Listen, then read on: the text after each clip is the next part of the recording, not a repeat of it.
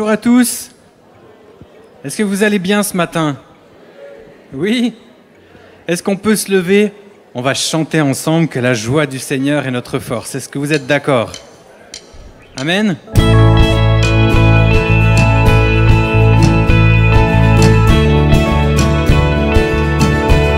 Oui, sentez-vous libre de taper dans les mains. hein.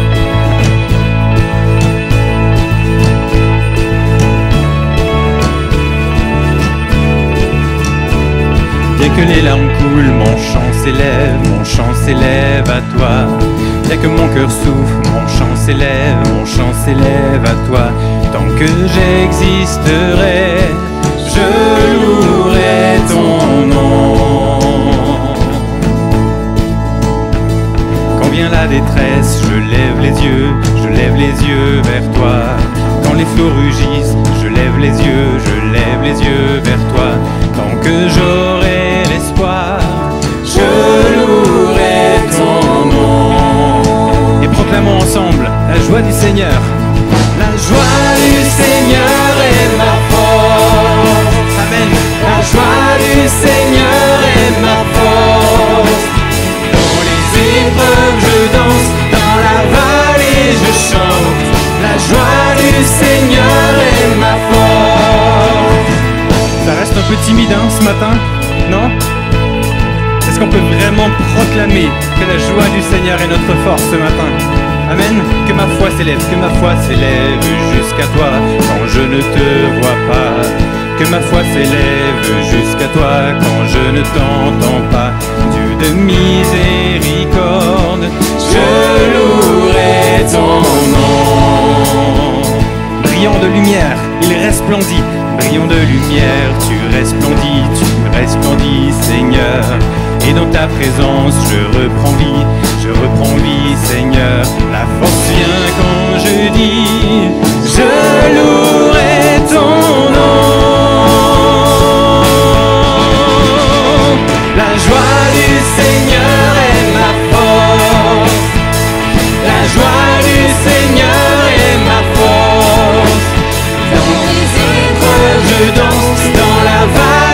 La joie du Seigneur est ma force.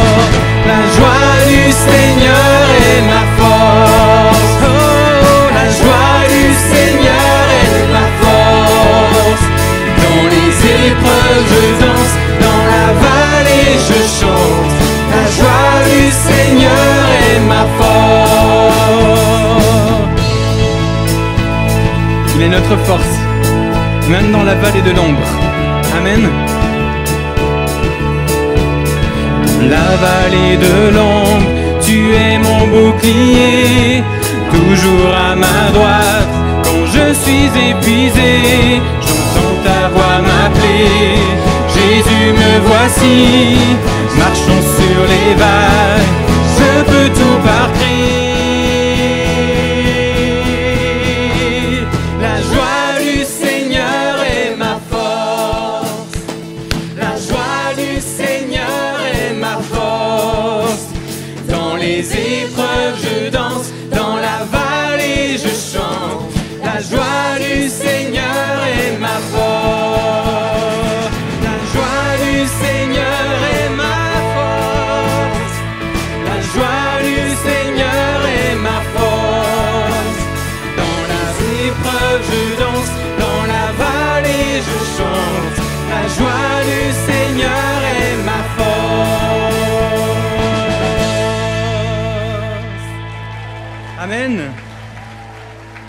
Alléluia.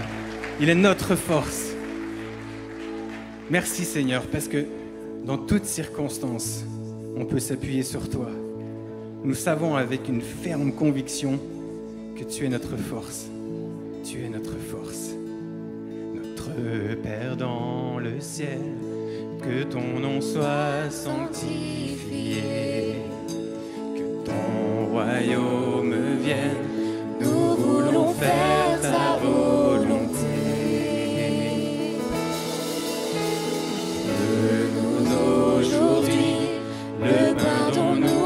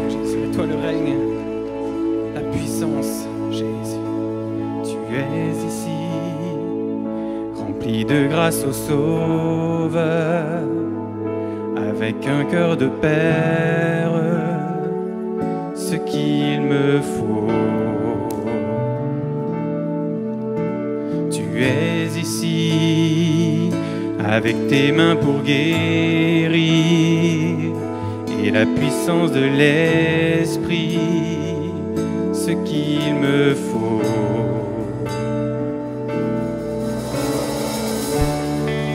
Et quand je prononce ton nom, toute chaîne se brise. Je sais que tu peux tout faire. Jésus, le son de ton nom fait taire vent et vague lorsque je prononce ton nom. Reprenons, tu es ici, tu es ici, rempli de grâce au Sauveur, avec un cœur de Père, ce qu'il me faut.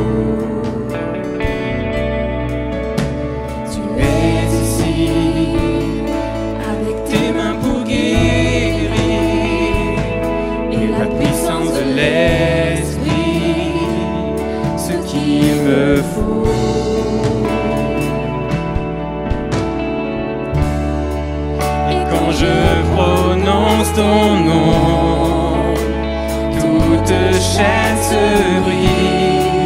Je sais que tu peux tout faire. Jésus, juste le son de ton nom fait taire vent et voix lorsque je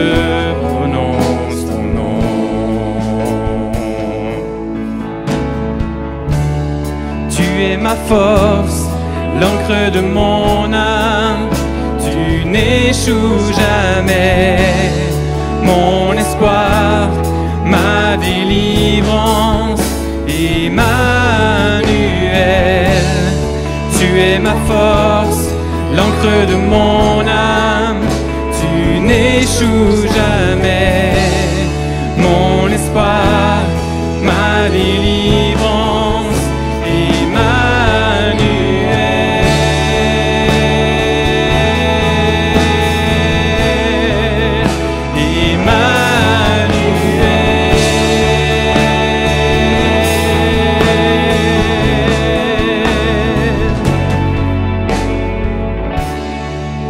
quand je prononce ton nom, toute chaîne se brise. Je sais que tu peux tout faire. Jésus, juste le son de son nom fait taire vent et vague lorsque je prononce ton nom.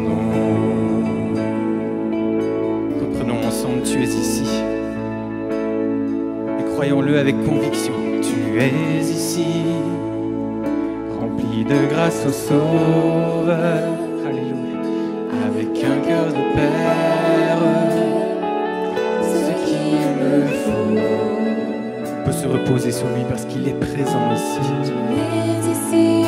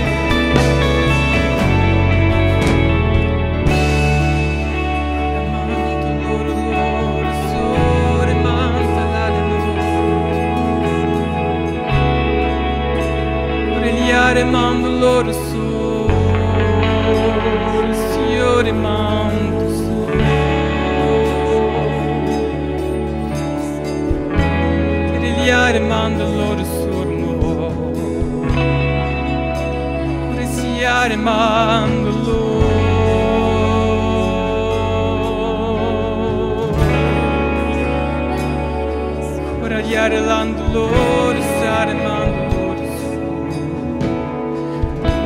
Kiril.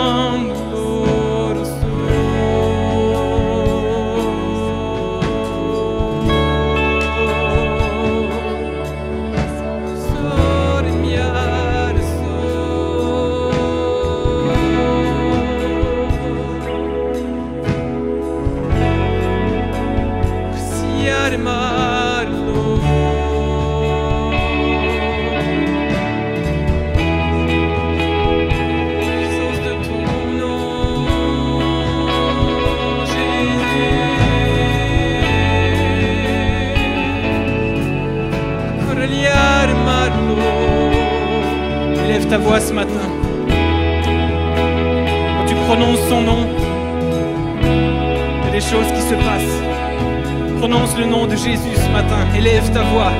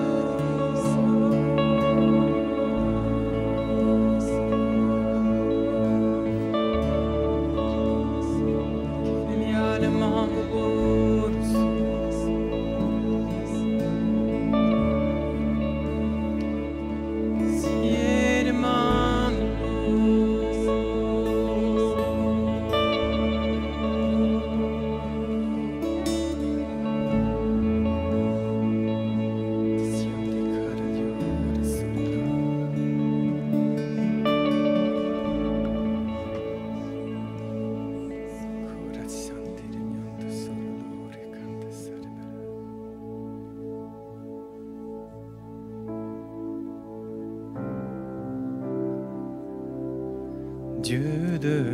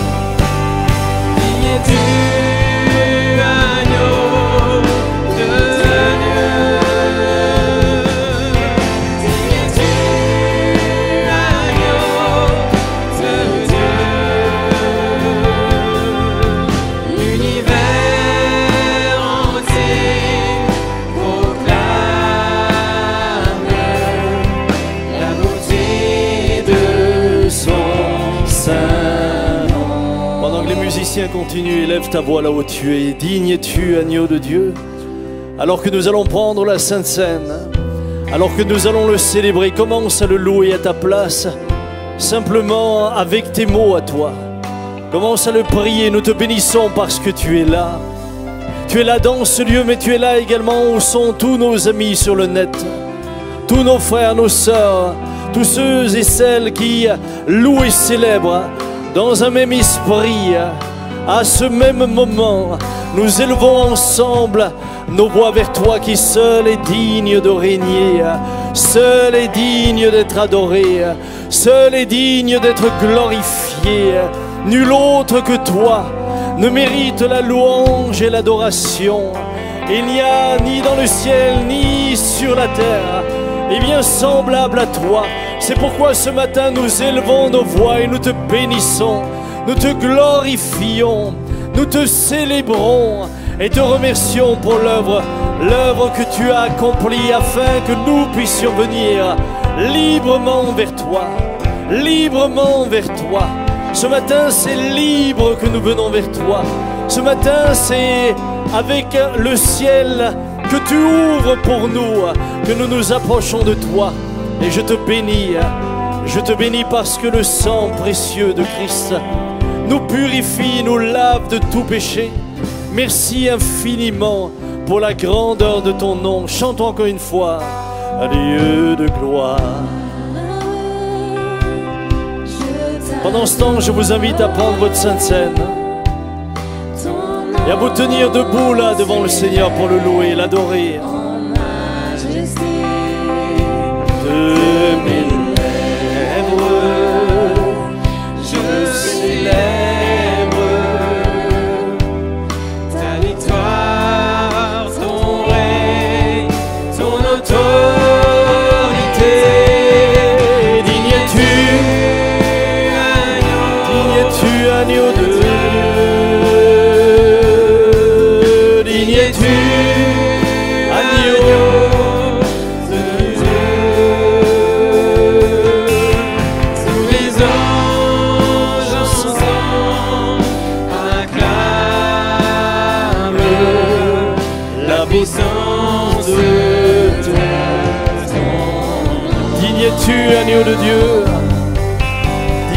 Digne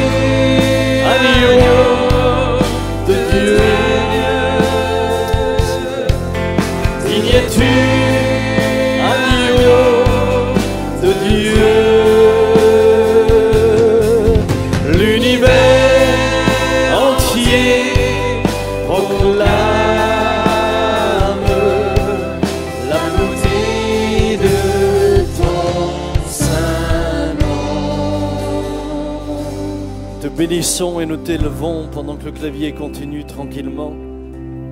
Écoutez ce merveilleux, simplement verset, tiré de l'Exode, chapitre 13, verset 3. Moïse dit au peuple, Souvenez-vous de ce jour où vous êtes sortis d'Égypte, de la maison de servitude, car c'est par sa main puissante que l'Éternel vous en a fait sortir. Souvenez-vous de ce jour. Et Jésus dit plus tard, faites ceci en mémoire de moi. Souvenez-vous de ce jour où vous êtes sortis d'Égypte, de la maison de servitude. Souviens-toi, Israël, de ce jour où je t'ai délivré à bras étendus, de la main du Pharaon, où je t'ai libéré de ton esclavage et de ta servitude pour faire de toi une nation libre. Des milliers d'années plus tard, Jésus dira, faites ceci en mémoire de moi, souvenez-vous de ce que j'ai accompli pour vous, afin que vous passiez de la puissance des ténèbres à la puissance de Dieu. Que vous passiez des ténèbres à la lumière, de la puissance de Satan à Dieu. Israël a été libéré de la servitude du Pharaon, mais nous, nous avons été libérés de la servitude du diable. Est-ce que nous pouvons le célébrer pour cela? Est-ce que nous pouvons le louer pour cela?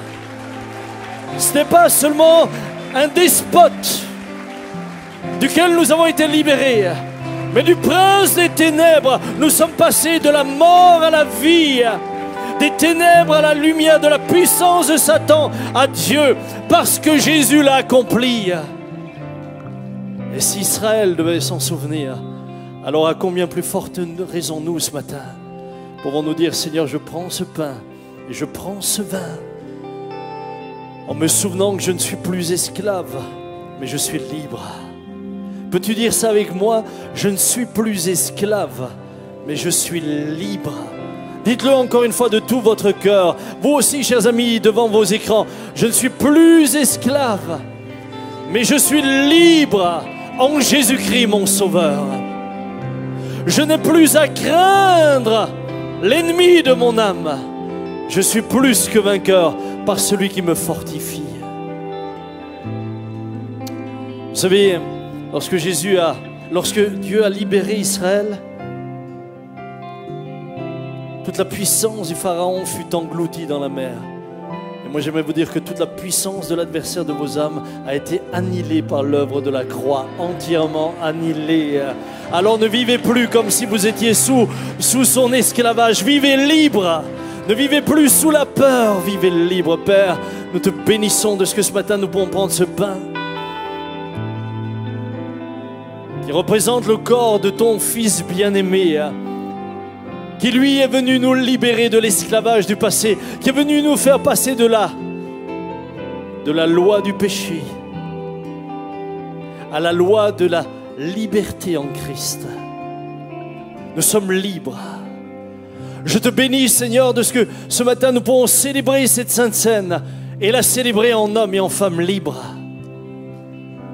Plus que vainqueurs par celui qui nous fortifie. À ton nom seul soit la gloire. Prenons ensemble ce pain et, et disons au Seigneur, Seigneur, non seulement je veux prendre ce pain, mais je veux me souvenir de ce que tu as fait de moi et pour moi afin de vivre libre, non plus comme un esclave, esclave du péché. Sois béni pour cela. Prenons le pain ensemble.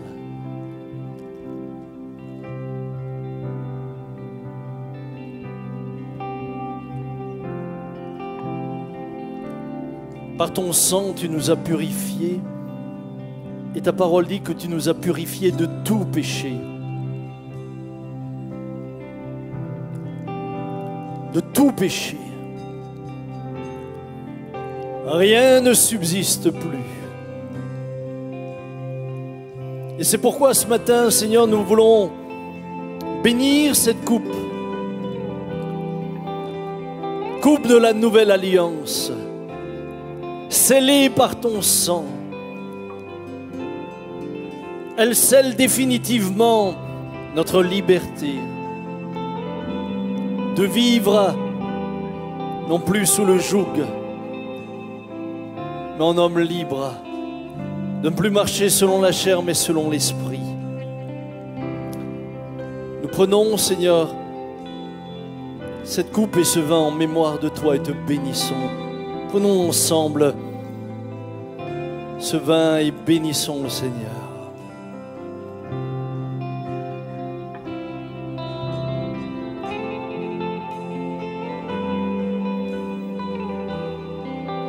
Merci de tout cœur. Merci de tout cœur. Chantons gloire ensemble. Gloire.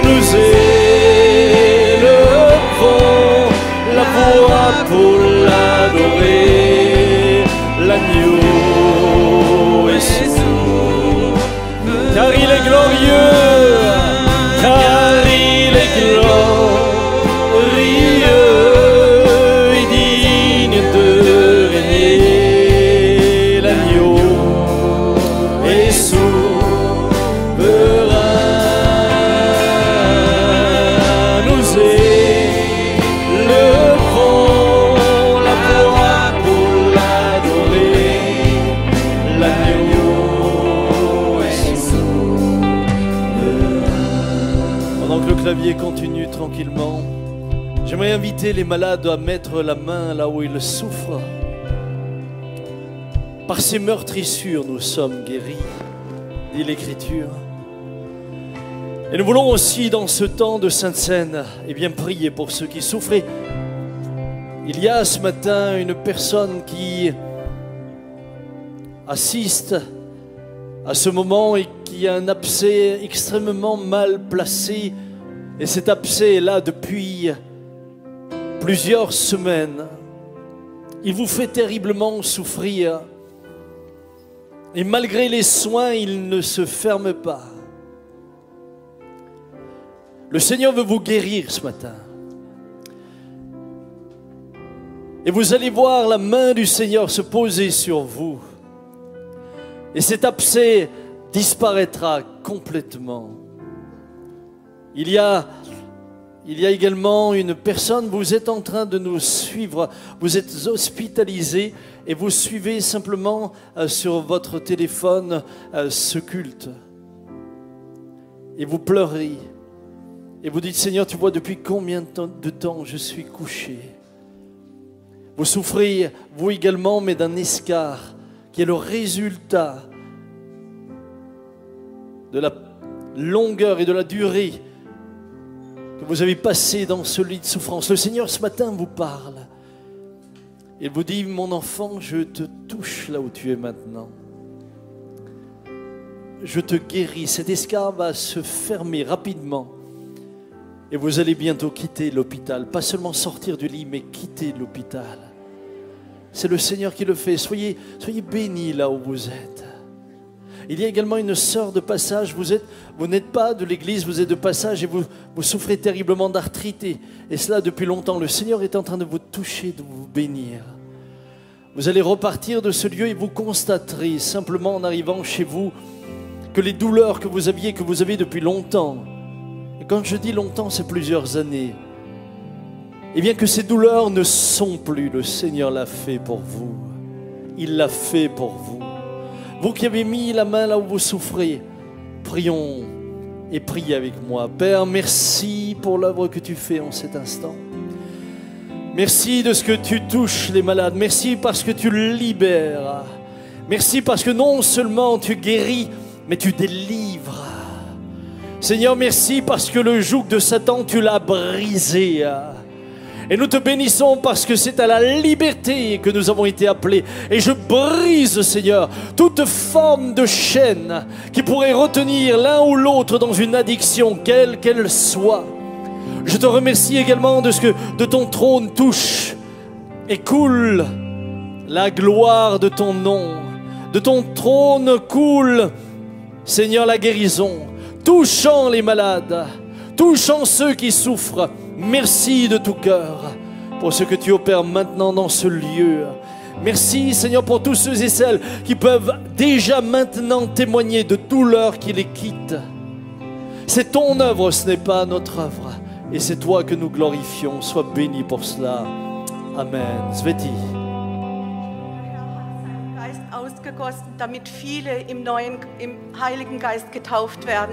Le Seigneur répand son esprit pour que beaucoup puissent être remplis et baptisés dans le Saint-Esprit. Und viele geheilt werden heute Morgen.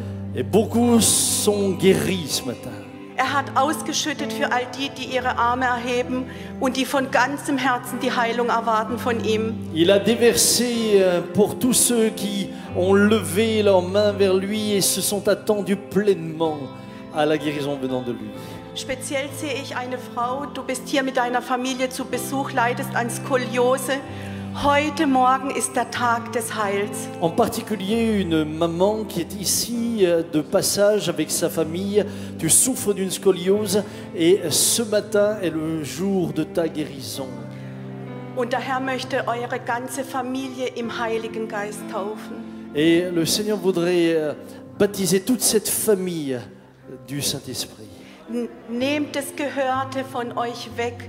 Die Doktrin, die euch sagt, das gibt es nicht mehr. Öffnet eure Herzen, erhebt euch zu dem Herrn, der euch taufen möchte. Laissez de côté tout cet enseignement qui vous disent que ces choses-là ne sont plus pour vous. Ouvrez vos cœurs et vous recevrez. Ein Mann, der an den Därmen leidet, du weißt schon nicht mehr, was machen. Die Ärzte geben dir schon keine Chancen. Heute ist der Tag des Heils. Der Herr berührt dich. Il y a également un homme qui souffre au niveau des intestins et euh, aujourd'hui est le jour de grâce pour toi. Le Seigneur te touche et il te bénit. und der Herr möchte zu den Geschwistern im Libanon sprechen und sagt, in den Bergen, in dem ihr seid, ich werde eine Erweckung ausgießen in eurer Mitte und ich will euch segnen und ich werde Türen in diesem Land öffnen. Et Libanon, hein, Libanon. Euh, Il y a des, des personnes qui nous suivent du Liban et le Seigneur vous dit simplement, là où vous êtes, dans les montagnes où vous habitez, je veux répandre ma grâce et ma gloire et permettre un réveil. Und dieses Land soll noch viele aufnehmen, die auf der Flucht in der Verfolgung sind. Et dans ce pays, beaucoup euh, trouveront encore refuge. Ich werde meine Hand auf die Regierung legen. Ich will Türen öffnen für die, die in Leid sind, sagt der Herr, der Je veux mettre Herrscher. ma main sur les dirigeants de ce pays et je veux encore secourir beaucoup de personnes en détresse et en souffrance. Le Seigneur euh, m'a mis sur le cœur que ce matin, il y a beaucoup de chrétiens qui ont demandé le secours pour la vision, qui perdent la vision, qui ont peur de ne plus pouvoir vraiment par la vision servir le Seigneur, faire cette œuvre. Et Jésus nous touche en cet instant. Il y a au moins une centaine qui ont demandé, Seigneur, viens à mon secours. Et c'est maintenant par la foi, saisissez cette promesse du Seigneur. Il veut libérer, de, accorder cette vision dont nous avons besoin, moi aussi. Ainsi, je remercie avec tous mes frères et mes sœurs qui en cet instant saisissent le moment de l'accomplissement de la promesse de Jésus-Christ. Une nouvelle vision au nom de Jésus-Christ. Amen. Béni, Père. Nous te remercions parce que c'est toi qui ouvres les yeux aux aveugles que tous ceux ce matin qui, au niveau de leur vue, comme cela vient d'être dit, bien souffrent puissent voir une différence entre avant et maintenant. Et il y a encore euh, des personnes qui sont là juste de passage et qui disent mais Seigneur, tu vois combien ce matin nous, nous vivons ta présence? Nous venons d'un lieu dans lequel nous vivions cette présence et nous ne la vivons plus. Le Seigneur vous dit simplement, vous avez bouché les puits que vos pères avaient ouverts. Les puits que vos pères avaient ouverts et qui vous permettaient de vivre ma présence et ma bénédiction. Vous les avez bouchés par toutes sortes de, d'enseignements, par une théologie qui vous a amené à réduire votre relation avec moi sur un plan uniquement intellectuel. Ce matin, vous êtes touché, vous êtes visité, vous êtes renouvelé, et le Seigneur vous dit simplement, repentez-vous, débouchez les puits anciens, et vous vivrez à nouveau ces choses là où vous êtes. Et vous les vivrez à nouveau, car ma grâce est sans fin. Père, nous voulons également ce matin euh, prier pour les offrandes. Merci euh, pour tous ceux et celles qui euh, servent ton œuvre en donnant de tout leur cœur, en donnant librement, sans contrainte, dit l'Écriture, mais avec joie. Et Seigneur, c'est un, c'est une joie pour nous de pouvoir contribuer à l'avancement du royaume de Dieu. C'est une joie pour nous de pouvoir le faire. C'est une grâce qui nous est faite d'avoir le droit de pouvoir contribuer aussi avec nos biens à cet avancement. Et c'est pourquoi je te remercie pour tous ceux qui peuvent le faire. Tu vois, ceux qui n'ont pas les moyens financiers, mais qui le font autrement, en donnant de leur temps, en se consacrant. Père, tu étends ta main sur chacun et chacune et tu renouvelles les uns et les autres. Merci de ce que c'est toi qui donnes aussi sagesse dans l'utilisation de ce que nous avons pour que cette bonne nouvelle soit répandue et ceci jusqu'aux extrémités de la terre. À toi seul soit l'honneur, la louange et la gloire. Amen. Nous allons chanter un dernier cantique ensemble. Et pendant ce temps, j'invite la famille Peter Schmidt, Michael et Sinoun à s'approcher avec le petit Joachim. Je ne sais pas où ils sont, mais ils sont là.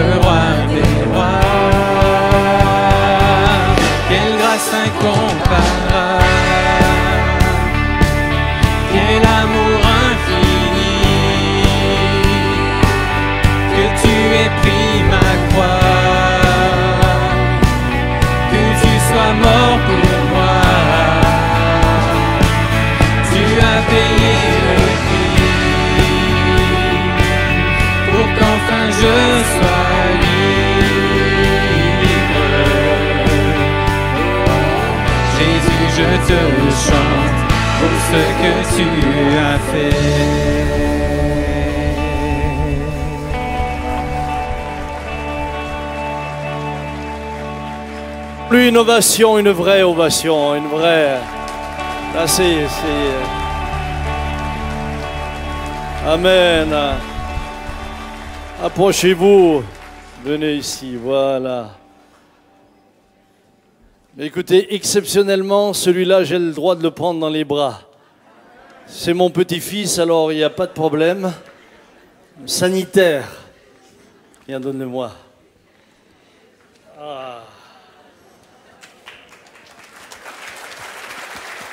Ça fait, ça fait du bien de reprendre les bébés qu'on présente dans les bras. Hein Père, nous te bénissons pour Joachim. Nous te remercions parce que tu l'as donné à ses parents comme un cadeau.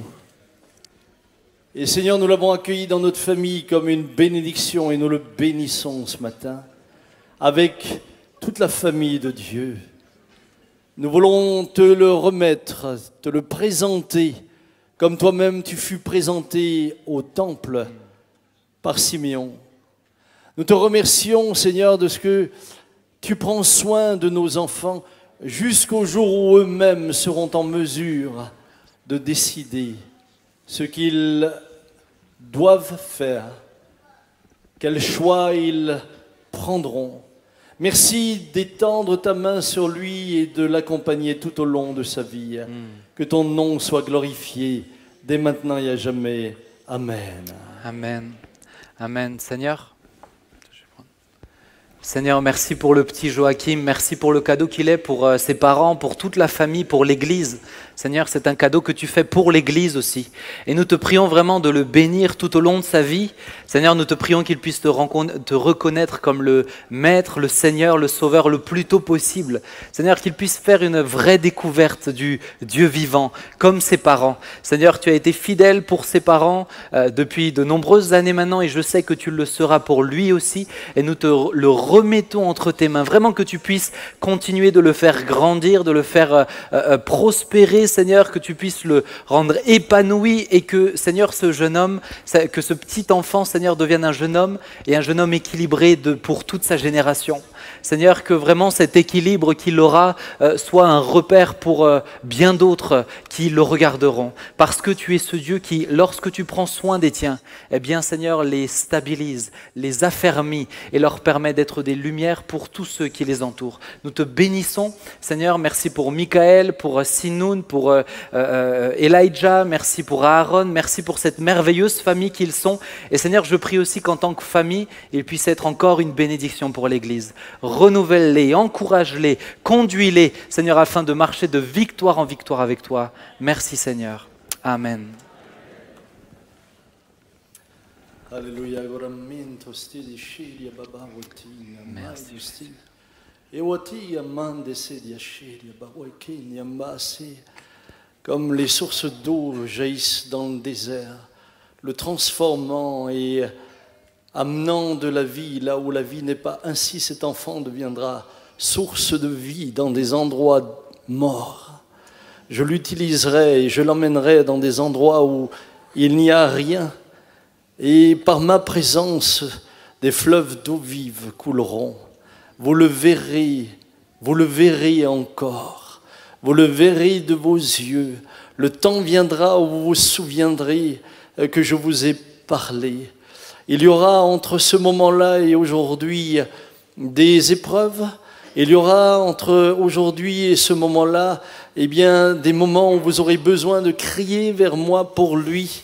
Mais sachez que c'est à cela que je l'ai destiné et c'est vers là que je le conduirai. C'est pourquoi soyez dans ma paix et soyez dans mon repos. Sois béni, Père. Nous voulons le bénir de, de tout notre cœur. Amen. Amen. Amen. Amen. Peut-être, peut-être exceptionnellement, je vais demander à l'arrière-grand-père de prier pour lui.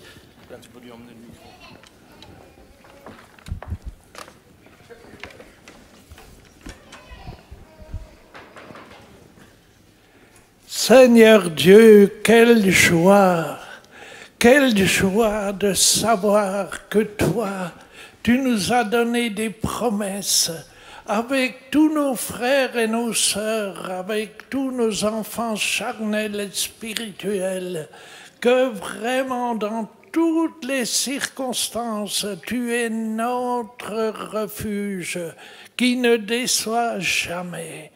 Et tu vois cet enfant, Seigneur, qu'avec joie nous te remettons entre les mains. Cet enfant que tu bénis, que tu conduiras, car c'est toi qui en toutes choses manifeste ta grâce, ton amour, même dans nos incapacités, tu es le Tout-Puissant, le Merveilleux. Merci Seigneur que cet enfant est dans ta main et que notre cœur est dans la joie de savoir que vraiment tout va s'accomplir selon ta sainte volonté. Au nom de Jésus-Christ. Amen. Bénis-les, bénis-les,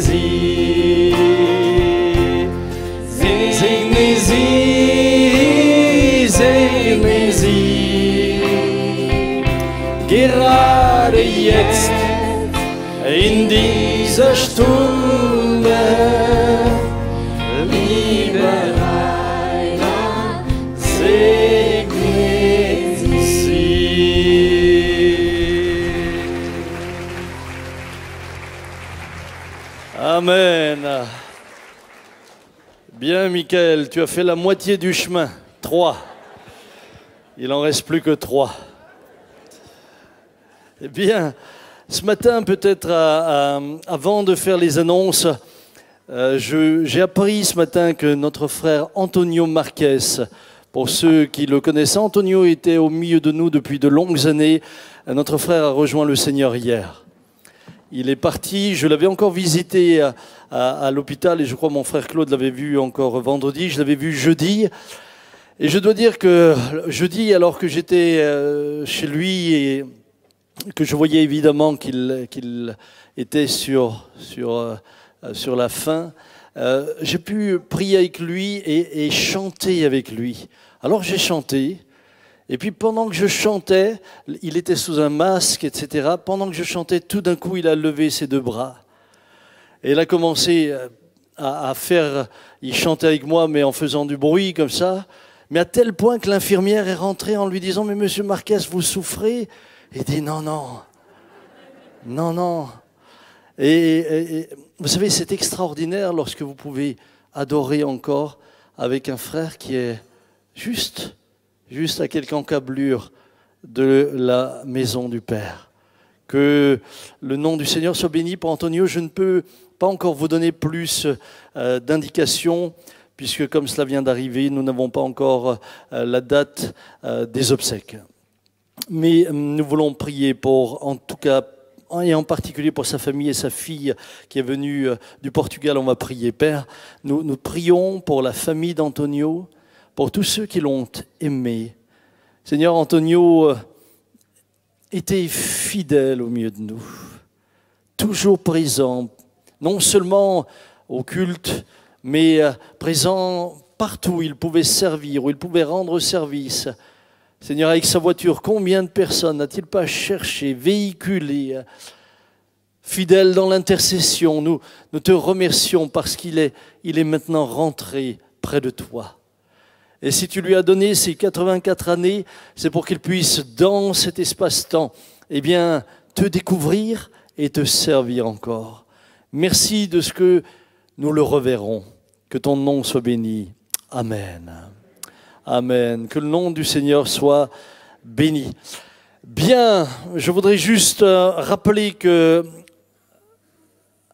Vous êtes tous à nouveau les bienvenus à la maison, sans forcément de limite, si ce n'est que par mesure euh, de euh, sécurité, par précaution, nous vous demandons juste de vous inscrire. Alors, inscrivez-vous sur le net parce que c'est euh, le plus simple. Vous allez simplement sur le site et vous vous inscrivez. Mais euh, pour tous les frères et sœurs qui oublieraient de s'inscrire ou les frères et sœurs âgés qui n'ont pas l'habitude euh, d'aller sur le net, eh bien, vous arrivez et quand vous arrivez, il y a juste une feuille où vous mettez votre nom, votre numéro de téléphone au cas où on nous demanderait qui était présent. Ça va? Mais ça se alors paradoxalement, ça se simplifie pour nous actuellement. Donc euh, euh, j'aimerais quand même vous demander de veiller à garder euh, les distances sociales, garder le masque, le gel. Mettons tout en œuvre pour être irréprochable. Et si c'est possible, quand c'est possible, gardez juste une chaise entre deux groupes de personnes ou entre deux familles. On va essayer de le, voilà, de le maintenir simplement pour faire au mieux. Euh, Je voudrais rappeler également que lorsque vous venez, les enfants peuvent venir avec vous pendant le temps de louange et ils peuvent rejoindre ensuite les clubs. Pour ce qui est du stationnement, puisque si vous revenez plus nombreux, évidemment, euh, le stationnement, ça va recommencer. Je sais que vous aimez euh, le code de la route et que vous savez qu'il ne faut pas se stationner devant le garage ou devant une sortie, n'est-ce pas? Donc évitez de le faire, puisque ça nous évite aussi d'avoir des tensions avec euh, les voisins et nous voulons les respecter. À cet effet-là, une information, il y a un beau parking à 300 mètres. Qu'est-ce que c'est 300 mètres? Lorsque je suis en Afrique, il y a des frères qui font 10 km à pied pour venir. Alors 300 mètres, et en même temps, ça vous permet de faire une promenade avec votre chéri en lui donnant la main, en vous réjouissant ensemble de venir à pied à l'église. À 300 mètres, juste en face de l'église, euh, qui Saint-Antoine, vous avez un beau parking. Je termine, le port du masque reste bien sûr obligatoire pour les enfants de plus de, de 11 ans et plus. Euh, tous les dimanches, nous avons un culte pour les enfants, également à 10h30, euh, donc les 6-12 ans. Euh, sur le site, je rappelle également qu'il y a la reprise d'Extrême ce samedi à 14h dans la salle JSP. Et en même temps, il y a une sortie du club euh, Zévoy et les motards se retrouvent à 13h30 au, au champ euh, samedi à venir. Sinon, Juste un mot pour ceux qui sont sur YouTube. Je sais que nous avons reçu des emails, des SMS, des courriers, euh, parce que pendant les chants actuellement, vous n'aviez pas les paroles. Nous nous en excusons euh, vraiment. Le problème, c'est que nous avons eu une panne sur un ordinateur. Il nous manque une carte graphique. Il faut que nous euh, la recevions. Elle est commandée depuis longtemps, mais je ne sais pas si vous le saviez, mais il y a des pénuries en tout actuellement. C'est-à-dire, il y a des pénuries dans le bois, il y a des pénuries dans le métal, et il y a des pénuries dans l'électronique. Et les cartes, les puces, etc., se, disputent un peu euh, euh, sur toute la surface de la Terre, ce qui fait que les délais sont beaucoup plus longs. Alors, frères et sœurs, eh bien, ne vous découragez pas, suivez-nous pendant que nous louons, et le temps viendra où vous aurez à nouveau les paroles. Euh, Je voudrais également eh bien, terminer en priant, en priant pour les frères et sœurs en Algérie. Euh, J'ai eu un coup de fil l'autre jour. Euh, nous avons euh, le responsable des, qui s'occupait de tous les enfants dans l'église de Tizi Ouzou. C'est un frère qui est, je crois qu'il a entre 35 et 40 ans, qui vient de décéder suite au Covid. Il faut savoir que le, Covid touche l'Algérie de manière très violente actuellement. Au-delà de tous les débats qu'on a ici en Europe, j'aimerais vous dire qu'il y a des endroits où ils aimeraient être soignés. Et euh, la sœur me disait, on a cherché de l'oxygène pendant plusieurs jours. Il n'y avait pas d'oxygène disponible. Donc, pendant que nous sommes ici dans un pays où on peut encore se faire soigner et où on crie dans tous les sens, rappelons-nous qu'il y a des endroits dans le monde où s'ils pouvaient se faire soigner, ils iraient se faire soigner. Que vraiment, eh bien, nous puissions prier pour eux, Priez pour l'Église, en particulier de Tizi, qui est vraiment éprouvée par ce deuil. Priez également, je sais qu'au Sénégal, la situation est aussi délicate et dans bien des endroits du monde, la situation redevient délicate. Donc, nous avons été suffisamment concernés, suffisamment touchés pour être sensibles et pour unir nos voix afin de nous mettre devant Dieu. Amen. Prions ensemble, prions pour, pour en particulier l'Église de Tizou, éprouvée par ce deuil. Père, je te prie, je te prie tout d'abord pour la famille de ce frère. Je te prie, Seigneur, pour sa famille. Je te prie pour cette famille qui a été éprouvée par le départ, Seigneur, dans la gloire. Oui, nous le reverrons, mais Seigneur, pour ceux qui restent, euh, cela reste un déchirement, surtout à cet âge-là. Eh bien, je te prie de les consoler. Je te prie de consoler, euh, Seigneur, l'église de Tiziouzou. Je te prie de venir au secours de nos frères et sœurs qui euh, sont actuellement face à cette pandémie et dont beaucoup ne peuvent être soignés. Beaucoup n'ont pas accès aux soins. Beaucoup n'ont pas accès à l'oxygène. Beaucoup n'ont pas accès, Seigneur, à ce qui pour nous est presque naturel. Beaucoup sont privés de l'accès. Nous te prions, viens étendre ta main. Père, je pense aussi à l'île de la Réunion, à la Martinique. Euh, Seigneur, tous ces, ces territoires d'outre-mer, nous les, nous les bénissons. Là aussi, tu vois les appels que j'ai eus, tu vois les difficultés qu'ils rencontrent. Là-bas aussi, Seigneur, des, euh, de la détresse liée à cette pandémie. Père, protège-les, étends ta main sur ton peuple, viens les secourir et les aider. Nous prions pour ça et nous te prions pour tous ces pays dans le monde, ces pays, Seigneur, pauvres, qui n'ont pas ces moyens que nous avons. Eh bien, je prie pour le Sénégal, mais je prie pour tous ces pays d'Afrique confrontés, comme l'Inde, à ces mêmes situations. Fais leur grâce. Nous ne pouvons pas rester indifférents. Fais leur grâce, Seigneur. Merci de tout cœur. Et, Père, je veux aussi te prier pour la prédication de la parole, qu'elle fasse du bien au cœur, qu'elle réjouisse, qu'elle encourage, qu'elle fortifie, qu'elle reprenne si nécessaire et qu'elle nous permette d'aller de l'avant. Que ton nom soit béni. Amen. Amen. Amen. Juste une question avant de laisser la place à Ben. Qui est là en visiteur ce matin? Y en a-t-il? Levez voir la main. Waouh est-ce que vous pouvez vous lever? On voudrait vous accueillir. Levez-vous voir là où vous êtes. Est-ce qu'on peut les accueillir bien fort? Soyez les bienvenus, d'où que vous veniez, qui que vous soyez, quelles que soient vos régions.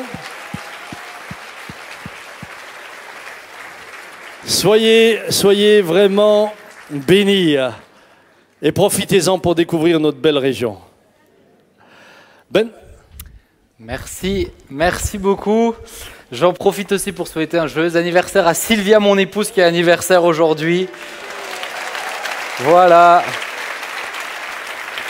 Est-ce qu'il y en a d'autres qui ont anniversaire cette semaine ou la semaine qui vient? Il y en a eu d'autres? Mois d'août en général, c'est prolifique. Eh ben, que le Seigneur vous bénisse richement, vraiment qu'il vous conduise cette année. Je me réjouis chaque année, on se rapproche un peu plus du ciel et ça, ça fait plaisir. Amen. C'est vraiment une bonne nouvelle. Moi, j'aime bien ces anniversaires comme ça. Alors je suis heureux d'être avec vous. Je dois tout de suite commencer en euh, m'excusant euh, parce que euh, je n'ai pas eu de quoi cirer mes chaussures. Et comme on me l'a tout de suite fait remarquer ce matin, je préfère anticiper si certains ont un regard aguerri. Voilà, mes chaussures ne sont pas cirées, mais j'espère que vous m'aimerez quand même. Ça va? Ok? Merci, merci, ok. Bon papa, je pense que... Bon voilà, tu n'as juste pas besoin de regarder mes chaussures et ça se passera très bien. Alors ce matin, j'aimerais vous parler de l'identité. L'identité est un enjeu, l'identité est un message important et je ne vais pas avoir la prétention de tout résumer ce matin, de tout dire, mais je veux juste vous déposer ce qui a été fortement euh, euh, euh, pressé sur mon cœur, déposé, je veux vous le donner. Et je vais commencer par une citation, c'est un proverbe chinois qui dit ⁇ Connaître autrui n'est que science, se connaître soi-même, c'est intelligence ⁇ je vous le redis, connaître autrui n'est que science, se connaître soi-même, cette intelligence. Et j'ai envie de vous le dire ce matin, cette intelligence de se connaître. Et quand je regarde, nous courons, nous passons notre temps à courir, et pour se connaître, il faut être capable de s'arrêter. Pour se connaître, il faut être capable de se regarder, de faire le point. Pour se connaître, il faut peut-être de temps en temps euh, s'analyser. Mais voyez-vous, euh, se connaître, c'est déterminant pour la suite. C'est déterminant pour ce que vous ferez. C'est déterminant pour ce que vous transmettrez. C'est déterminant pour ce que Dieu pourra faire de vous. Amen. Ça va ou vous êtes des diesels ce matin? Moi, je l'ai. Hier, je prêchais et euh, hier, je priais plutôt. Et, euh, et, en général, avant les cultes, euh, je, je, prêche les prédications tout seul. Je sais que papa, il le fait aussi quand il peut. Et je suis tout seul dans une pièce et je le prêche. Et je vous assure, j'avais qu'une envie, c'était que vous soyez en face de moi. Tellement c'était dans mon cœur, ça, ça, ça, ça bouillonnait, c'était, le feu, et je crois vraiment que Dieu veut parler à plusieurs ce matin. Il a parlé à plusieurs au travers de différentes paroles de connaissance, mais j'aimerais vous encourager, bien aimé, à ouvrir votre cœur, parce que la parole, la prédication est un outil que Dieu utilise. Amen. Amen. Donc que votre, votre cœur soit prêt. Et je vais commencer premièrement avec l'identité, un enjeu. Alors qu'est-ce que l'identité? Je vous donne une définition, et dans cette définition, il y a deux notions. D'accord? La définition, la rousse, la deux notions qui s'y retrouvent.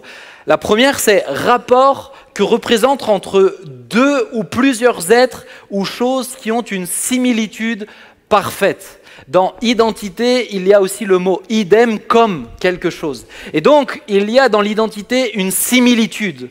Mais il y a également dans l'identité cette deuxième notion caractère fondamental de quelqu'un qui fait son individualité, sa singularité. Et dans l'identité, il y a un paradoxe, il y a des similitudes, mais il y a également des singularités. Il y a des choses qui font que vous êtes que vous-même. Votre empreinte digitale, personne sur la planète Terre n'a la même. Et aujourd'hui, on se rend compte que même au niveau de l'œil, personne n'a le même. Il y a toujours des spécificités. Mais il y a également des similitudes. Nous sommes similaires à quelque chose. Et nous sommes similaires à Dieu. Nous sommes similaires à Dieu, frères et sœurs. J'aimerais vraiment nous, nous rendre attentifs sur ça. Nous sommes similaires à Dieu. Regardez Genèse 1, verset 26, pour vous montrer que je ne dis pas des bêtises. Puis Dieu dit, faisons l'homme à notre image selon notre ressemblance. Alors c'est Genèse 1, verset 26 Ma sœur, Genèse 1, verset 26, puis Dieu dit, faisons l'homme à notre image selon notre ressemblance. Nous sommes là pour... Nous avons été créés à la ressemblance de Dieu. Autrement dit, dans notre identité, il y a quelque chose de similaire à Dieu. Retenez bien ça parce que je reviens sur la fin du message sur ce point-là. C'est extrêmement important. Euh, il y a quelque chose de similaire maintenant. Maintenant, si nous sommes honnêtes, beaucoup de gens ne sont pas à l'aise avec leur identité. Beaucoup de gens, que ce soit dans l'Église ou non, ont des troubles identitaires, ont des difficultés quant à qui ils sont, quant à ce que le, qui suis-je. Il y a beaucoup de personnes qui souffrent de cela. Pourquoi? Mais parce qu'il y a eu un dérèglement. Et j'aimerais vous le dire que ce n'est pas juste un, fait de la société au XXIe siècle, ça a lieu dès les origines, dès la Genèse. Le dérèglement s'est produit à ce moment-là. J'aimerais essayer de vous l'expliquer ce matin. Genèse 2, verset 7. L'Éternel Dieu forma l'homme de la poussière de la terre, il souffla dans ses narines un souffle de vie, et l'homme devint un être vivant. Et l'homme devint un être vivant. Essayez d'être bien concentré sur cette partie parce que ensuite elle nous aidera à mieux comprendre euh, le, point, euh, le point, je dirais peut-être euh, plus spirituel. La première chose, c'est que l'homme est corps, âme et esprit. Alors je vous donne une petite image. J'ai pris l'assiette de mon fils, il faut rentabiliser ses biens. Donc corps, ok La Bible dit que Dieu a pris la poussière de la terre. Le corps, c'est ce qui vous relie à la terre. D'accord? Le corps, c'est ce qui vous relie aux autres. Et voilà le moment où il vient il souffle dans les narines de ce corps qui était mort, qui ne vivait pas. Et l'Esprit de Dieu lui donne la vie. Ce souffle qui vient de Dieu lui donne la vie. Et ça, c'est l'esprit. Vous voyez, Dieu a soufflé et cela a donné l'esprit d'Adam. Et entre les deux se trouve l'âme. Vous avez le corps, vous avez l'âme. L'âme, c'est ce qui, ce qui, vous êtes à l'intérieur, le siège de vos émotions, de vos réflexions. Vous n'êtes pas qu'un corps, vous êtes bien plus, enfin je l'espère.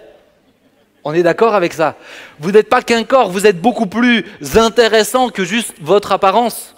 Et ça, c'est l'âme. L'âme, vous voyez, c'est le pivot de l'être. Vous avez l'esprit au-dessus, Vous avez l'âme qui est le pivot de l'être et vous avez le corps qui vous permet d'agir et d'interagir avec l'extérieur. Ça va pour vous? Alors là, j'essaye de schématiser, mais dans les faits, euh, la création de Dieu est beaucoup plus complexe que cela. Mais je vais vous faire comprendre un principe.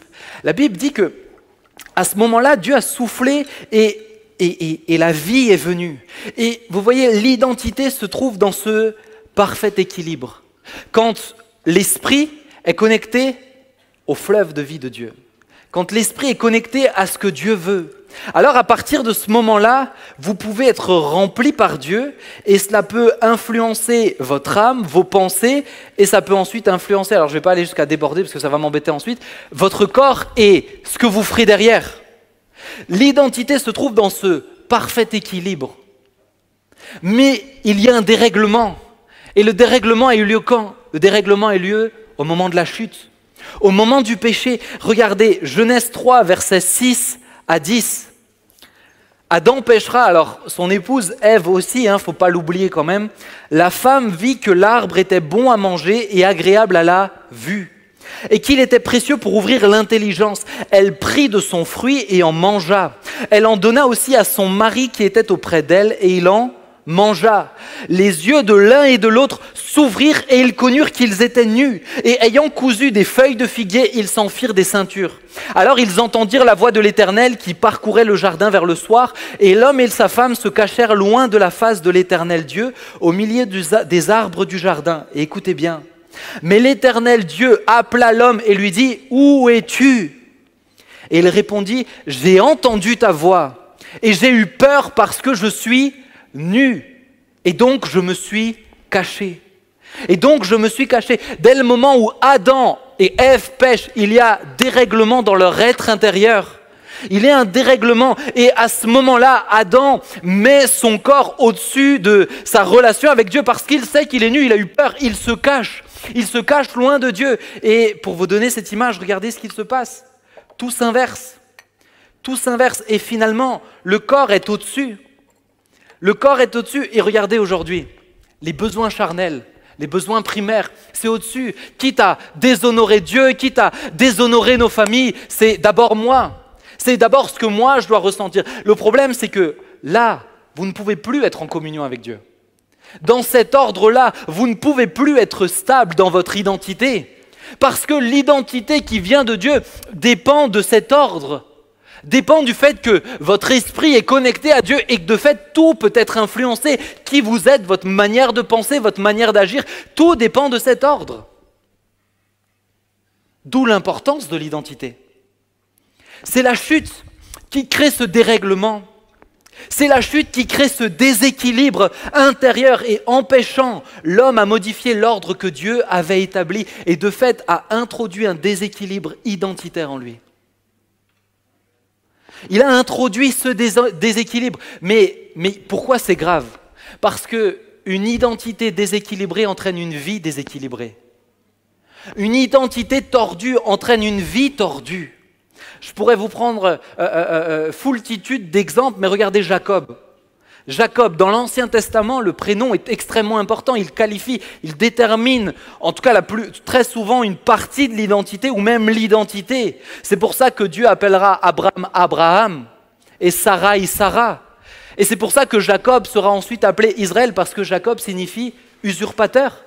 Et regardez, c'est déterminé, c'est dans son identité, c'est inscrit en lui. Et il sera poursuivi par cet état.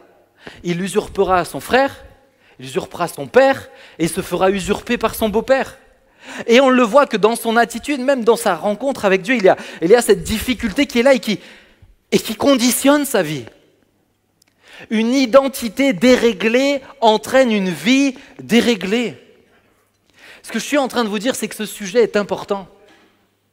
Ce que j'essaye de vous dire, c'est que vous soyez chrétien ou non, ce sujet est extrêmement important. Pensez-vous sincèrement qu'avec autant d'implications, personne ne se soucie de l'identité? Pensez-vous sincèrement qu'avec autant d'implications, la question identitaire est neutre? Bien sûr que l'identité est un champ de bataille. Votre identité, ton identité est un champ de bataille. Cette compréhension de qui tu es est un champ de bataille. Parce que si le diable ne peut pas te détruire, il tordra ou il détruira ton identité.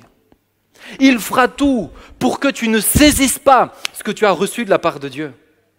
Parce qu'une identité déréglée entraîne une vie, que tu sois croyant ou non. Une identité déréglée entraîne une vie déréglée. L'identité est un champ de bataille. Regardez, je vous donne un exemple, mais encore une fois, je pourrais m'arrêter sur beaucoup. Le lieu de transmission, un lieu très important de transmission où le- l'enfant est établi, construit, la famille. La famille est mise à mal aujourd'hui. La famille est mise à mal. La famille est déséquilibrée et le diable cherche à la déstructurer. Le monde cherche à la déstructurer. Mais pourquoi? Pas parce que ça l'amuse, parce qu'il sait très bien qu'en déstructurant la famille, vous déstructurez l'identité de plein de jeunes. Vous la tordez, vous la détruisez. Et combien de jeunes mal dans leur peau, combien de jeunes qui ne savent pas qui ils sont, combien de jeunes qui, ne, qui, qui ont des pensées de suicide de plus en plus jeunes, combien? Parce que le diable cherche à attaquer tout ce qui peut atteindre l'identité. Tout ce qui peut atteindre l'identité. Ne vous illusionnez pas, mon frère, ma sœur. Tout ce qui peut l'atteindre, le diable cherchera à l'attaquer. Le diable cherchera à le détruire. Le diable cherchera à tordre le sens et l'ordre que Dieu avait établi dans la famille, euh, intérieurement. Le diable cherchera à tout tordre. Pourquoi? Parce que cela détermine la suite. Parce que ça détermine la suite. Parce que c'est ce qui fera la différence. Vous êtes toujours avec moi? Oui, je vous sens avec moi. Maintenant, j'ai une bonne nouvelle. Alléluia, j'ai entendu quelqu'un. Ben oui, je ne vais pas m'arrêter là, parce que sinon vous allez finir dépressif à la fin de cette matinée. Mais j'ai une bonne nouvelle. C'est qu'en Christ, nous avons une nouvelle identité. Oh ben dis donc, vous êtes vraiment des diesels. Là, c'était vrai. C'est la meilleure des nouvelles. En Christ, nous avons une nouvelle identité. Si quelqu'un est en Christ, il est une nouvelle Les choses anciennes sont passées. Voici toutes choses sont devenues nouvelles. Est-ce qu'on ne peut pas acclamer le Seigneur pour cette bonne nouvelle?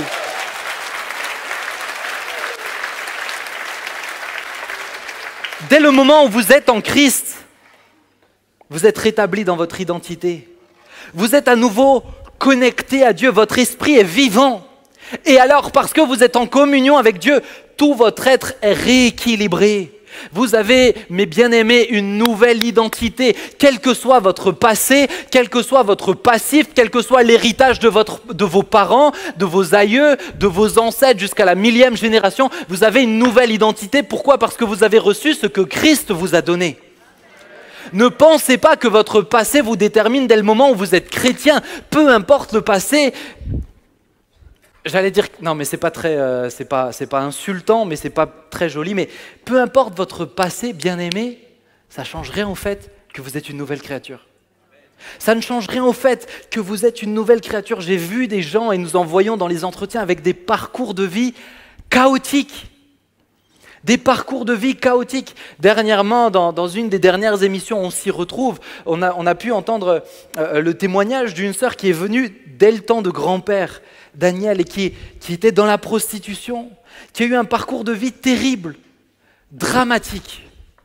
Franchement, on, on souhaite cette vie à personne, mais qui, parce qu'elle a rencontré Jésus, a été complètement rééquilibrée complètement rééquilibrée, complètement stabilisée. Et ses choix ne dépendent pas de ce qu'elle n'a pas reçu ou de ce qu'elle a reçu, ses choix dépendent de ce qu'elle reçoit de Dieu. Alléluia. C'est une bonne nouvelle, toi qui doutes. Maintenant, maintenant ça m'amène sur mon deuxième point. Ça, c'était pour comprendre que l'identité, il y a un enjeu dedans. OK? Mais il y, a, il y a une bonne nouvelle, nous sommes rééquilibrés par le Seigneur, nous avons une nouvelle identité, mais pour les chrétiens, il y a un enjeu. J'aimerais vous partager un texte et- et m'arrêter dessus, c'est mon deuxième point, c'est le défi du chrétien. Je lisais dans ma méditation personnelle ce texte et on le connaît tous, mais je dois dire que ce matin-là, je l'ai lu d'une autre manière. Et ça m'a tellement travaillé que j'en ai parlé aux responsables de la jeunesse, à pas mal de gens ces derniers temps, et je sentais Benjamin prêche dessus.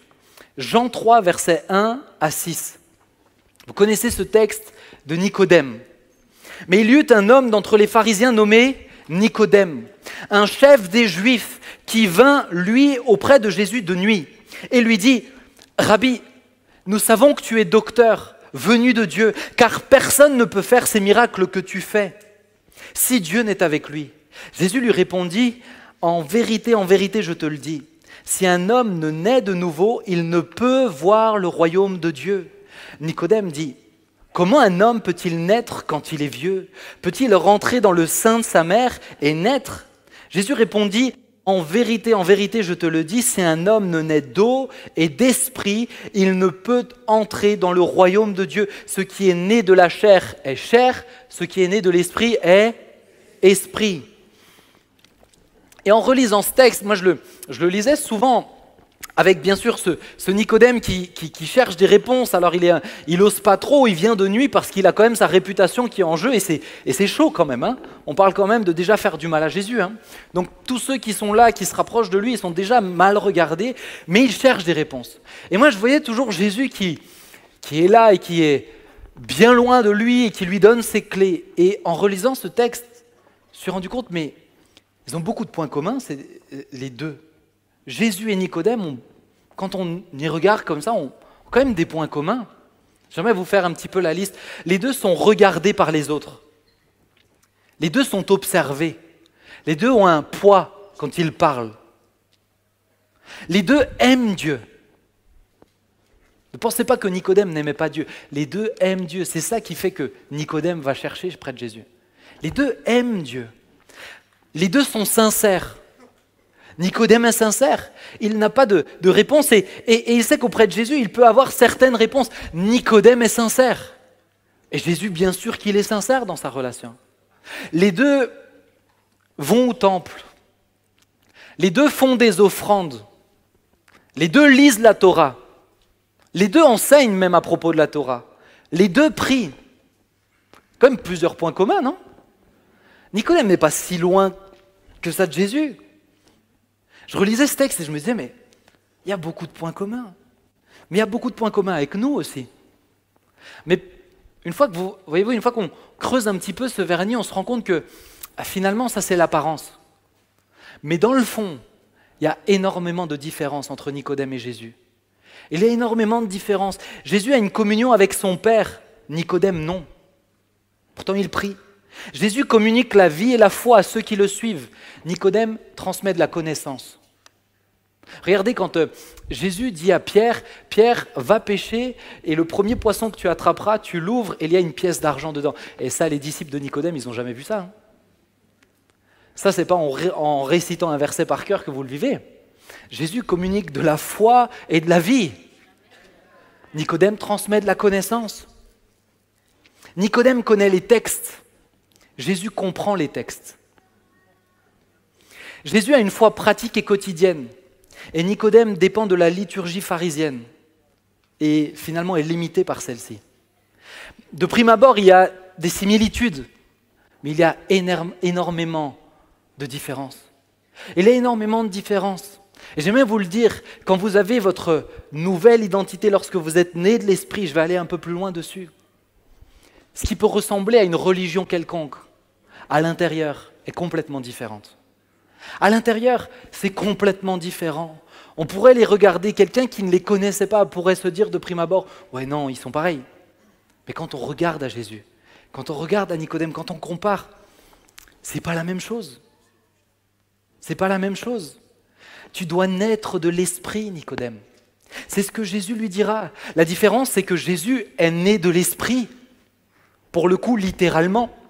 Et Jésus est né de l'esprit. Nicodème, non. Et la différence se trouve là. La différence, c'est que Jésus est né rempli de l'esprit. Jésus répondit en vérité, en vérité. Je te le dis, si un homme ne naît d'eau et d'esprit, ne peut entrer dans le royaume de Dieu. Ce qui est né de la chair est chair, ce qui est né de l'esprit est esprit. Lorsque tu es né de l'esprit, tout change. Tout change. Mais le défi du chrétien est celui-ci. C'est que dans les faits, il ressemble plus à Nicodème qu'à Jésus. Il est né de l'esprit. Mais beaucoup de croyants, dans les faits, ressemblent bien plus à Nicodème qu'à Jésus. Ils sont satisfaits de lire la Bible. Ils sont satisfaits de prier. Ils sont satisfaits de venir au culte le dimanche et pour les plus zélés le mardi soir. Et pour les extrêmement zélés de regarder trois prédications sur Internet. Mais ils sont satisfaits de ça. Est-ce ça, être né de l'esprit? Quand vous regardez à Jésus, est-ce que vous avez l'impression que c'est ça? Encore une fois, je prêche sur l'identité et vous allez bien comprendre. Il y a un enjeu. Parce que nous pouvons être nés de l'esprit et garder la mentalité de Nicodème. Nous pouvons être nés de l'esprit et avoir le même système de pensée que Nicodème. C'est pas parce que cela c'est déjà valable et actif. Qui a, accepté Jésus dans cette salle? Qui marche avec le Seigneur? Levez voir la main. Ok. Pour tous ceux qui lèvent la main et sur Internet, c'est déjà une vérité. C'est déjà actif, c'est déjà vivant. Mais tu ne le vis pas parce que tu as le même système de pensée que Nicodème. Tu fonctionnes à la Nicodème. Le défi du chrétien n'est pas de recevoir une nouvelle identité, mais de s'en saisir. Je peux vous le redire, le véritable défi du chrétien n'est pas de recevoir la nouvelle identité, ça, ça dépend de l'œuvre de Christ, et Christ l'a déjà fait. Mais le véritable défi, c'est de s'en saisir, c'est de se l'approprier. Et particulièrement pour les chrétiens de longue date et pour les enfants de chrétiens. Et pour les enfants de chrétiens, et là je fais une petite parenthèse euh, qui n'est pas dans mes notes. Mais il y a beaucoup d'enfants de chrétiens, jeunes et moins jeunes. Hein. J'ai déjà eu des. Souvent, j'ai des entretiens à propos de l'identité, mais avec des personnes de plus de 60 ans, mais qui n'ont pas saisi, ils n'ont pas compris. Pourquoi? Parce que lorsque vous baignez dans les cultes, on vous apprend à pas mentir, on vous apprend à prier, on vous, on vous offre une Bible quand vous, quand vous êtes enfant, on vous dit de lire la Bible, et toutes ces choses sont bonnes. Et peut-être même qu'à un moment donné, vous acceptez Jésus sincèrement. Moi, c'est ce qui m'est arrivé. Mais la vérité, c'est que je n'avais pas saisi le avant et le après. La vérité, c'est que je n'avais pas saisi le déséquilibre identitaire avant et le rééquilibre identitaire après. Et j'ai fonctionné, mais en boitillant dans mon identité. Je vous l'ai souvent dit, je ne m'aimais pas, il y avait beaucoup de choses qui n'étaient pas à l'aise. En moi, je n'étais pas à l'aise. Et, je terminerai avec ce témoignage tout à l'heure, mais, mais parce que on m'a transmis des valeurs. Mais ces choses dans la pratique, on les fait parce qu'on sait qui on est en Christ. On les fait parce qu'on sait qui on est en Christ. Alors ce matin, ne pense pas que l'identité, si ça fait 10 ans que tu es là, 20 ans que tu es là, ça ne te concerne pas, peut-être que ça te concerne plus que les autres. Mais que tu ne le vois plus. Mais que tu ne le saisis plus. Mais au fond de toi, tu sens qu'il y a des déséquilibres. Parce qu'il y a un manque de révélation. Encore une fois, ce sujet est trop important pour que le diable ne soit pas dans cette affaire. Il fera tout pour que tu ne saisisses pas. Il fera tout pour que tu ne saisisses pas cette nouvelle identité. Nous ne comprenons pas la profondeur de ce que signifie être né de l'esprit. Nous ne comprenons pas ce que ça veut réellement dire. Je me suis dit, mais Seigneur, qu'est-ce que ça signifie? Et alors, je vais vous donner un petit exemple. Peut-être que pour certains, il serait un peu choquant, mais vous allez voir qu'il va être très parlant tout de suite. Si Jésus avait dit à Nicodème, Nicodème, il faut que tu naisses d'une jument, vous auriez bien compris que c'est plus humain. Vous auriez bien compris qu'on parle de quelque chose de d'abord surnaturel. Et vous aurez bien compris que si on est d'une jument, tout est différent. On est d'accord avec ça? Parce qu'un poulain, c'est pas comme un enfant. Mais on aurait bien compris que tout est différent. Quand Jésus dit il faut que tu naisses de l'esprit, il est en train de te dire il faut que tout soit différent. Dieu ne te voit plus de la même manière. Il ne se dit pas ah, c'est une version améliorée de toi. Tu es quelqu'un d'autre, une nouvelle créature. Il n'y a pas plus clair comme expression. Devant Dieu, tu es une nouvelle créature. Tu n'es plus le même. Tu n'es plus le même. Et pour beaucoup de croyants, cette vérité que notre être est complètement différent, que spirituellement nous sommes totalement différents, que Dieu ne nous voit pas de la même manière, n'est pas clair. Pour beaucoup, ce n'est pas clair. Je relisais, en ce moment, je suis en train de lire Jean, et, et juste après ce texte de Jean 3, vous avez Jean 4, avec la femme samaritaine. Ah, tu étais impressionné, hein. juste après Jean 3, il y avait Jean 4. Hein. Oh, j'ai vu ton dit, eh, dis donc, Benjamin, il a progressé en calcul. Mais, euh, mais juste après Jean 3, il y a Jean 4, la femme samaritaine. Même, même dans, ses, même dans son le fonctionnement de son corps, Jésus ne fonctionne pas pareil. Il est avec la femme samaritaine, il a faim, il a soif, ses disciples vont chercher à manger. Et qu'est-ce qu'il leur dira? Ma nourriture, vous ne la connaissez pas. Ma nourriture, c'est faire la volonté de mon Père. Bien sûr qu'il mangeait, bien sûr qu'il buvait, bien sûr qu'il dormait, mais il était dans un autre état parce que spirituellement, il est différent. Spirituellement, il est différent. Et bien souvent, nous ne le saisissons pas. Nous suivons d'eux, mais jusqu'à une certaine limite, et nous plafonnons, et nous plafonnons, et nous ne sommes toujours pas équilibrés dans notre identité. Nous ne savons toujours pas qui nous sommes, parce que nous sommes toujours faits de chair. Nous ne comprenons pas tout. Mais j'aimerais aller sur ce dernier point. Jésus lui dit, il faut naître de l'esprit. Il faut que tu naisses de l'esprit, Nicodème. Et il lui donnera quelque chose de très parlant. Il lui dira, Jean 3, versets 7 à 8, Ne t'étonne pas que je t'ai dit, il faut que vous naissiez de nouveau. Le vent souffle où il veut, et tu en entends le bruit, mais tu ne sais d'où il vient, ni où il va. Et il en est ainsi de tout homme qui est né de l'esprit. Je peux vous le relire le vent souffle où il veut et tu en entends le bruit, mais tu ne sais ni d'où il vient, ni où il va. Il en est ainsi de tout homme qui est né de l'Esprit. J'aimerais soulever le fait que Jésus prend l'image du vent pour qualifier ceux qui sont nés de l'Esprit. C'est étonnant. Jésus, pourquoi tu n'as pas pris l'image du fleuve puissant, l'image du feu, de la sainteté? Pourquoi n'as-tu pas pris d'autres Pourquoi l'image du vent? Pourquoi l'image du vent? Parce que Jésus essaye de, Jésus essaye de relever quelque chose à Nicodème. Jésus relève le côté insaisissable du vent. Tu ne sais ni d'où il vient, ni où il va. Il est insaisissable. Avez-vous déjà essayé d'enfermer le vent? Vous avez déjà essayé? On ne peut pas. On ne peut pas enfermer le vent. Parce que dès le moment où tu le mets dans une boîte, il disparaît. Dès le moment où tu l'enfermes, il disparaît. Et c'est ça que Jésus est en train de relever à Nicodème. Parce que c'est là le premier problème de Nicodème. Chez Nicodème, il n'y a rien d'insaisissable. Si Jésus relève cet aspect-là de celui qui est né de l'Esprit, c'est parce que chez Nicodème, tout est contrôlé, tout est géré. Tout peut rentrer dans une petite boîte, lire la Bible, prier, aller au temple, servir, faire une offrande. Vous pouvez mettre tout ça dans un planning. Vous pouvez enfermer tout ça. Ça, c'est saisissable. Celui qui est né de l'esprit, il a une dimension beaucoup plus grande, beaucoup plus profonde, beaucoup plus insaisissable. Et l'identité se trouve là-dedans. Ta nouvelle identité a un aspect insaisissable. Comprends cela ce matin, parce que si tu négliges cet aspect insaisissable, tu négliges une partie de ton identité. Et tu ne recevras que cette partie de l'identité dès le moment où tu acceptes d'être dans l'insaisissable, de ne pas tout contrôler, de ne pas tout gérer. Réalises-tu qu'il y a un côté insaisissable dans ta nouvelle identité? Est-ce que tu le réalises? Ou est-ce que pour toi c'est juste allez, des données que, tu as, que le Seigneur a téléchargées dans ton système de disque dur et hop, tu as envie de lire et de venir au culte C'est beaucoup plus profond que ça, mon frère, ma soeur. Beaucoup plus profond que cela. Beaucoup plus stimulant aussi. Si dans toi tu peux tout expliquer, tout encadrer, il y a un problème. Il y a un problème.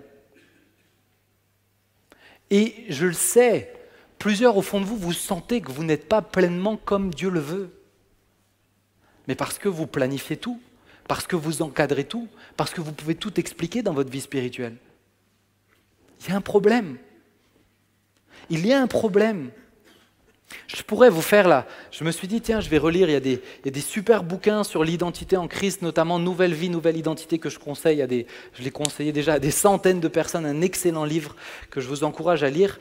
Mais je pourrais vous faire la liste de, plein de choses à répéter. Je suis enfant de Dieu, je suis libre, je ne suis plus esclave, euh, euh, je suis racheté, je suis euh, équipé, etc., etc. Mais tout ça ne sert à rien si vous restez dans quelque chose de contrôlé. Tout ça ne sert à rien si vous restez dans un cadre fixe que vous tenez ou vous tenez les règles. Ça sert à rien de vous le répéter. Ce n'est pas un mantra qu'on vous fait dire. C'est pas un mantra, c'est la réalité. Mais cette réalité, elle est vécue dès le moment où vous acceptez de lâcher prise. Dès le moment où vous acceptez de lâcher prise, et le lâcher prise, c'est un acte de foi. J'aimerais vous le rappeler, il y a dans cette vérité spirituelle quelque chose qui dépend de la foi. Tout ce qui est spirituel dépend de la foi. Tout ce que Dieu te donne, ça dépend d'abord de la foi. Or, sans la foi, il est impossible de lui être agréable. Tout ce qui vient de Dieu est effectif, est réel, est présent, mais vous vous en saisissez seulement par la foi. Regardez euh, l'œuvre de Christ à la croix. Christ est mort pour toi. Mais pourquoi tu le crois? Pourquoi tu marches dedans? Parce que tu as foi dans cette vérité. Pas parce que tu l'as vu, pas parce que tu as des preuves, pas parce que tu as entendu un témoin qui a dit que ceci, cela. C'est parce qu'au fond de toi, il y a la foi qui te fait dire je sais que je sais que je sais que je sais. Eh bien, c'est la même chose avec l'identité. Si vous voulez vous saisir de cette vérité spirituelle, vous devez mettre en, route votre foi. Vous devez mettre en route cette vérité. Seigneur, je sais, je lâche prise sur mon passé. Parce que tu m'as donné une nouvelle identité, les choses anciennes sont passées, je lâche prise. Je lâche prise sur ce que j'ai fait de mal. Je lâche prise en me disant, oui, le Seigneur m'a rattrapé, mais, quand même, j'aurai toujours ces cicatrices. Tu n'es plus boitilleux, tu, n'es plus, tu ne boites plus, tu es une nouvelle créature. Tu lâches prise. Tu lâches prise sur tes défauts. Tu lâches. Oui, mais moi, tu sais, j'ai toujours été colérique et c'est comme ça. Dans ta nouvelle identité, ça ne signifie pas que tu dois taper sur les personnes qui sont à côté de toi.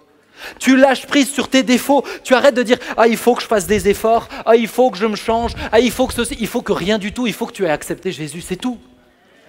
C'est tout. Parce que tu ne te saisis pas de cette nouvelle identité en faisant des efforts. C'est surnaturel, c'est spirituel, ça dépend de la foi. Ça ne dépend pas de tes efforts. Arrête d'essayer de faire des efforts.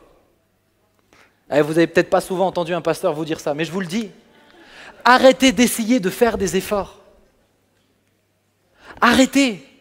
Arrêtez, parce que votre nouvelle identité, cette liberté en Christ que nous avons entendue ce matin pour la Sainte Seine, elle est là, elle est présente, mais elle est présente seulement si tu la vis par la foi, pas parce que tu essayes de faire des efforts.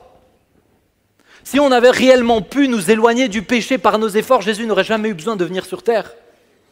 Cette grâce que tu as reçue dans ta nouvelle identité, dans ce rééquilibrage, eh bien tu l'as reçue parce que, c'est Christ qui l'a fait. Lâche prise sur ton passé, lâche prise sur tes défauts, lâche prise sur ton incapacité. C'est pas une, pas une nouveauté que tu sois incapable. C'est un fait et c'est pas grave. Et c'est pas grave. Parce que dans cette nouvelle identité, il y a quelque chose que tu ne prends pas en compte. C'est lui qui te rend capable. C'est lui qui te rend capable. Mon frère, ma sœur, c'est lui qui te rend capable. C'est pas grave que tu n'arrives pas à bien lire. C'est pas grave que tu n'arrives pas à bien prier. C'est lui qui te rend capable dès le moment où tu comptes sur lui. Dès le moment où tu comptes sur lui, où tu regardes à lui. Ça vous, eh, moi, ça me, je pourrais, je pourrais prêcher à moi tout seul comme ça, avec un miroir. Ça m'encourage, frères et sœurs. Lâche prise sur tes doutes. Et plusieurs ont besoin de l'entendre. Lâche, lâchez prise sur vos doutes. Lâchez prise sur vos doutes. Votre sérénité, dans cette nouvelle identité, il y a une paix et un épanouissement qui est là. Il est là quand tu te dis Seigneur, je ne comprends pas tout. Je ne maîtrise pas tout. Mais je lâche prise. Je lâche prise. Parce que je n'ai pas besoin de tout comprendre et tout discerner. Je n'ai pas besoin. Rappelez-vous l'image du vent. Rappelez-vous l'image du vent. On ne sait ni d'où il vient, ni où il va.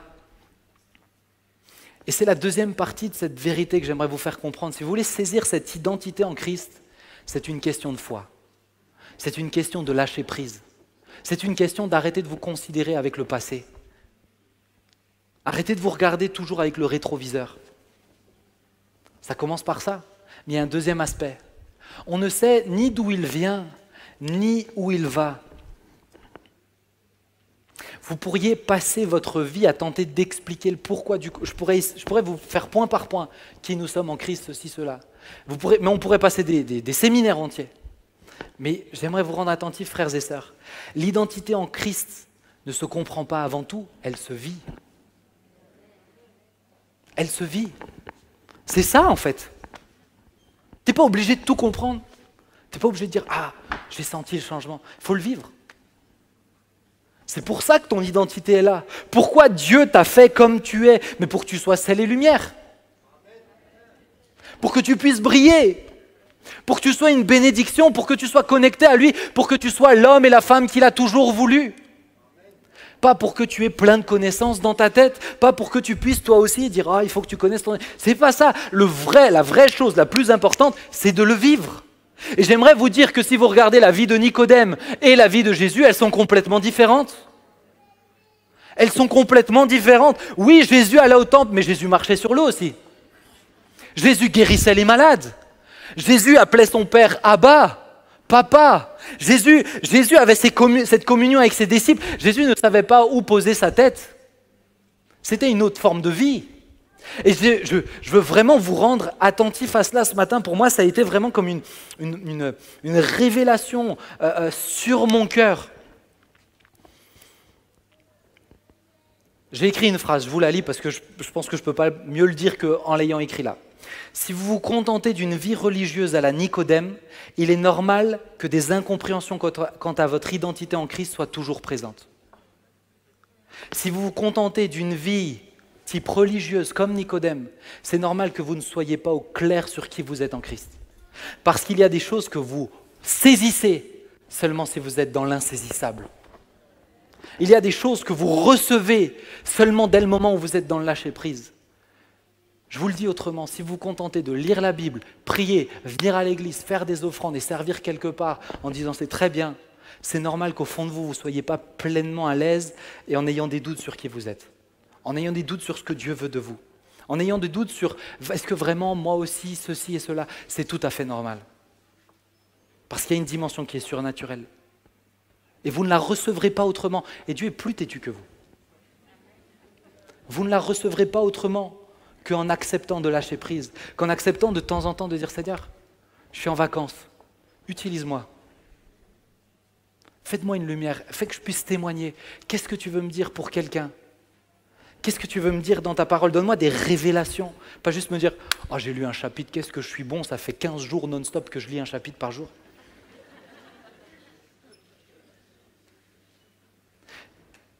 Je vous le rappelle, mon premier point, c'était l'enjeu de l'identité. Je crois qu'il y a beaucoup de croyants qui ne sont pas dans leur plein potentiel pour le royaume de Dieu, parce qu'ils prennent ce sujet trop à la légère parce qu'ils sont dans une vie religieuse bien rangée, avec une mentalité à la Nicodème. Et vous avez besoin de l'entendre. Si vous voulez vivre et être pleinement à l'aise avec qui vous êtes, là je ne parle, je parle pas juste de utile pour le royaume de Dieu, je parle à l'aise avec qui vous êtes. Moi, vous pouvez me dire ce que vous voulez, que mes chaussures soient cirées ou non devant des milliers de personnes, je m'en fiche, je suis très bien dans mes baskets.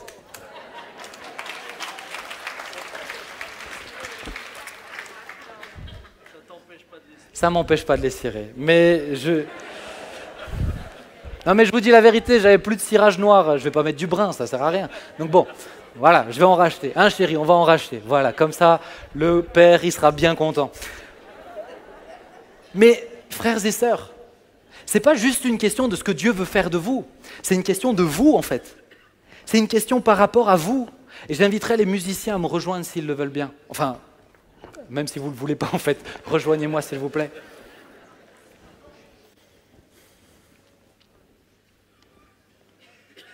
Si vous voulez commencer à voir le changement, si vous voulez commencer, c'est encore une fois, cette réalité, elle est déjà présente. Dieu vous voit comme ça. Mais si vous commencez à vouloir le recevoir en vous et au travers de vous, il faut accepter que le vent soit insaisissable. Il faut accepter qu'on ne maîtrise pas tout faut accepter que ce n'est pas en un, entretien avec un pasteur que vous aurez la révélation. C'est en acceptant de dire Seigneur, je perds pied. Et c'est très bien ainsi. Je nage dans les eaux profondes. C'est un chemin. Moi, je ne suis pas en train de vous dire que tout est réglé en moi. Je continue d'avancer et c'est une des plus belles, un des plus beaux sujets de moi, de vie, un des plus beaux sujets de joie, pardon, en moi, c'est de savoir que je change et que j'évolue et que je ressemble de plus en plus à Christ. Franchement, il n'y a rien qui me rend plus heureux.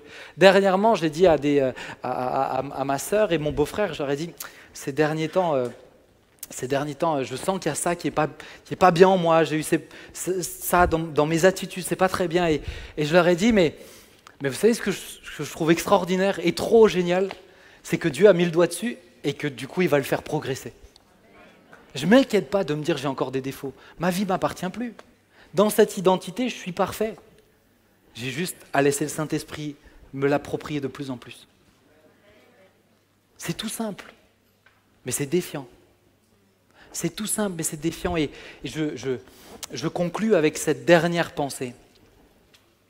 Vous vous rappelez Je vous ai dit, dans identité, il y a singularité, mais il y a également similarité. Il y a les choses où nous sommes comme Dieu. Et dans cette identité que Dieu a toujours voulu, nous sommes comme Dieu. Nous sommes à son image, à sa ressemblance. Et l'équilibre identitaire de tous les êtres humains se retrouve dans ce parfait alignement. Lorsque vous êtes en communion avec Dieu et que du coup tout dépend de cela. Tout se construit par cela.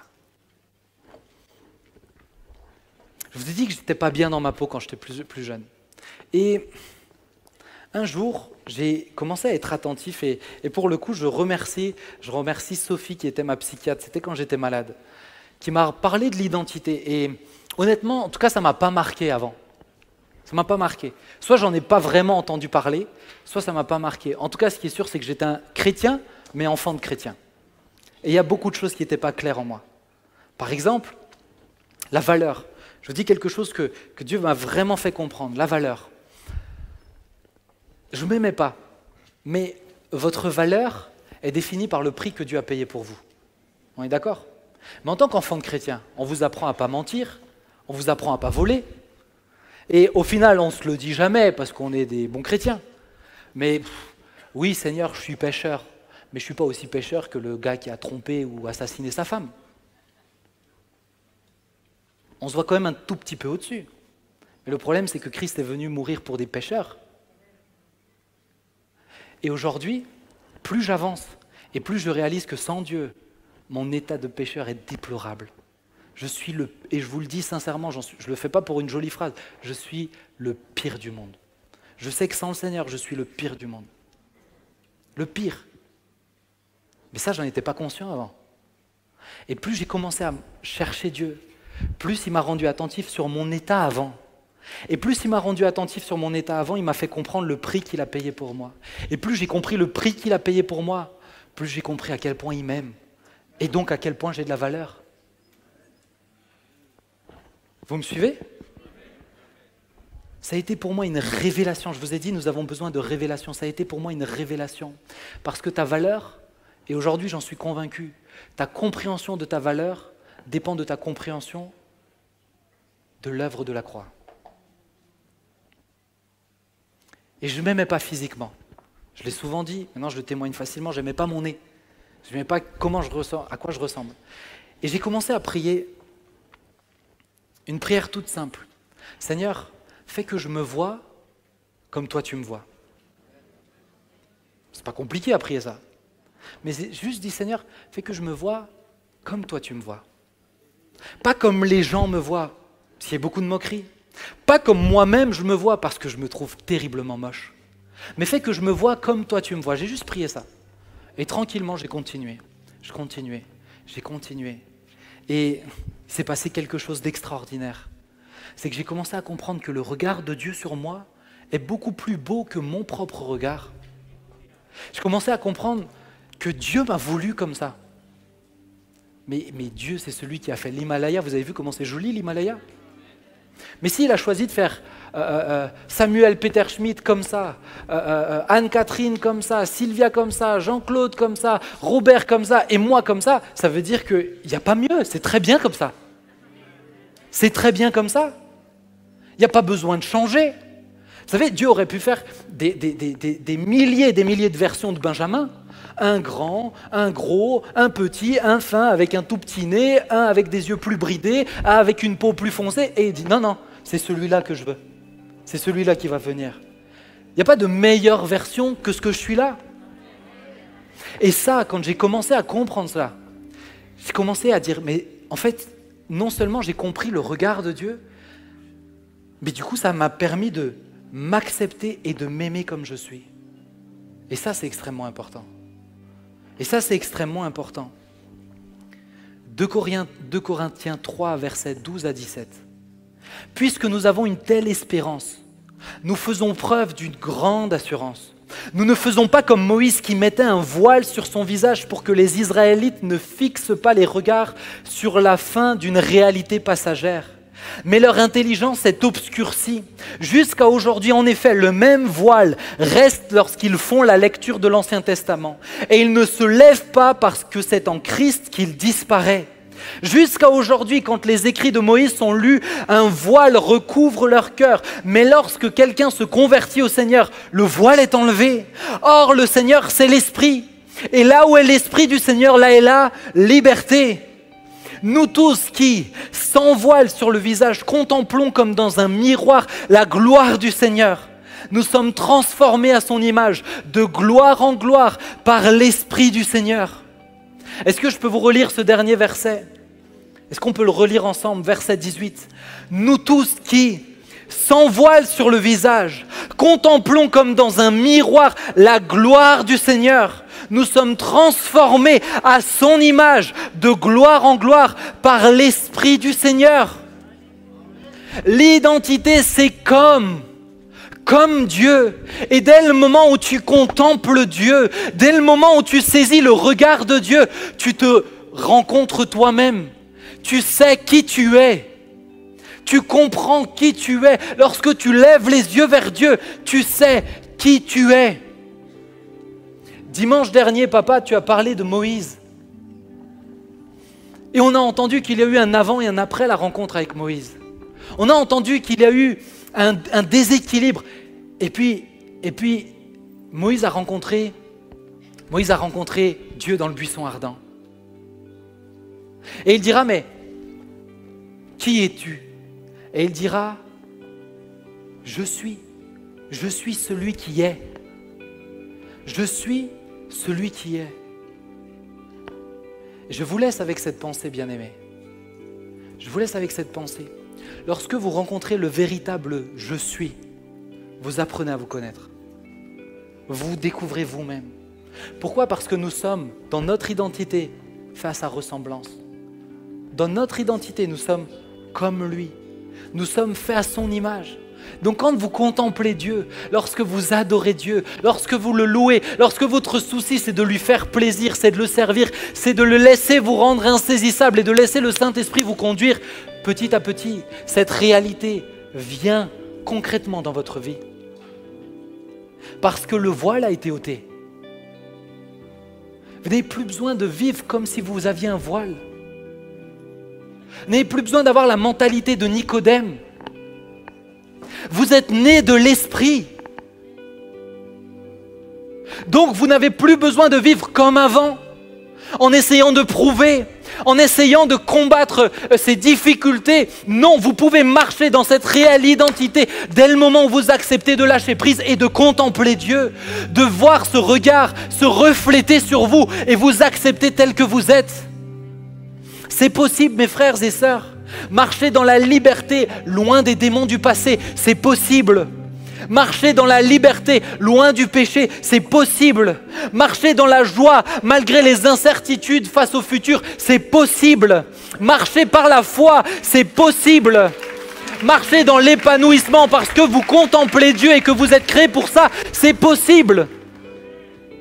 Je ne crois pas à une vie chrétienne euh, qui est là à être euh, euh, toujours boiteux quant à qui je suis.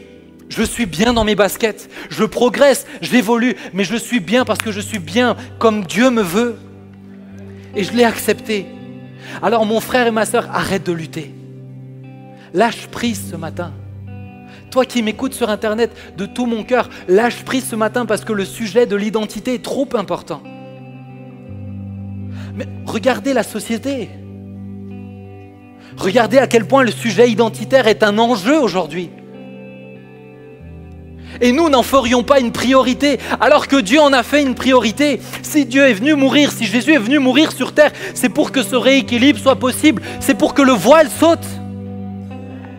C'est pour que nous soyons réellement sel et lumière.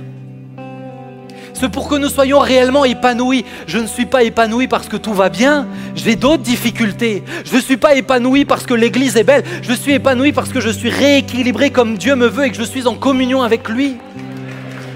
Mon frère et ma sœur, s'il te plaît, s'il te plaît, que tu aies 60 ans, que tu en aies 80, que tu en aies 30, que tu en aies 15, que tu en aies 12, que tu en aies 5, ça te concerne ce matin. Est-ce que tu peux fermer tes yeux, s'il te plaît? Pendant que j'inviterai papa à se préparer aussi à, prendre la suite, mais j'aimerais juste laisser quelques instants.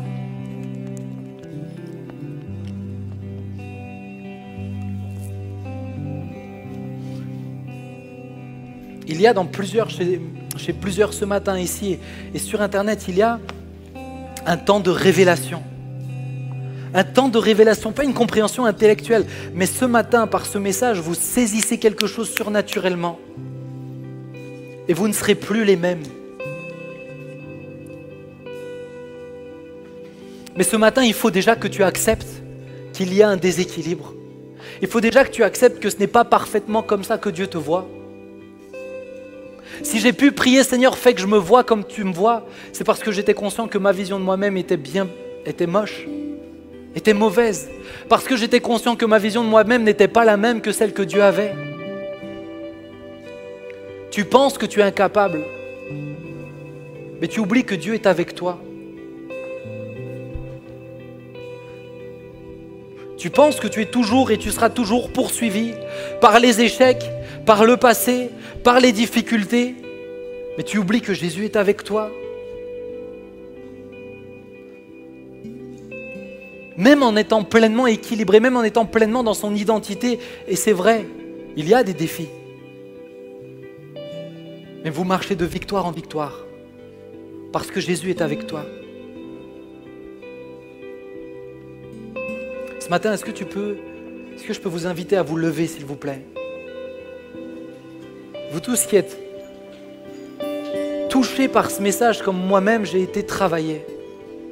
Il y a un temps de révélation pour plusieurs. Est-ce que tu peux commencer à prier de tout ton cœur? Tu as identifié des choses, des déséquilibres. Commence à les citer devant Dieu et commence à dire Seigneur, maintenant je veux voir cette situation comme toi tu la vois.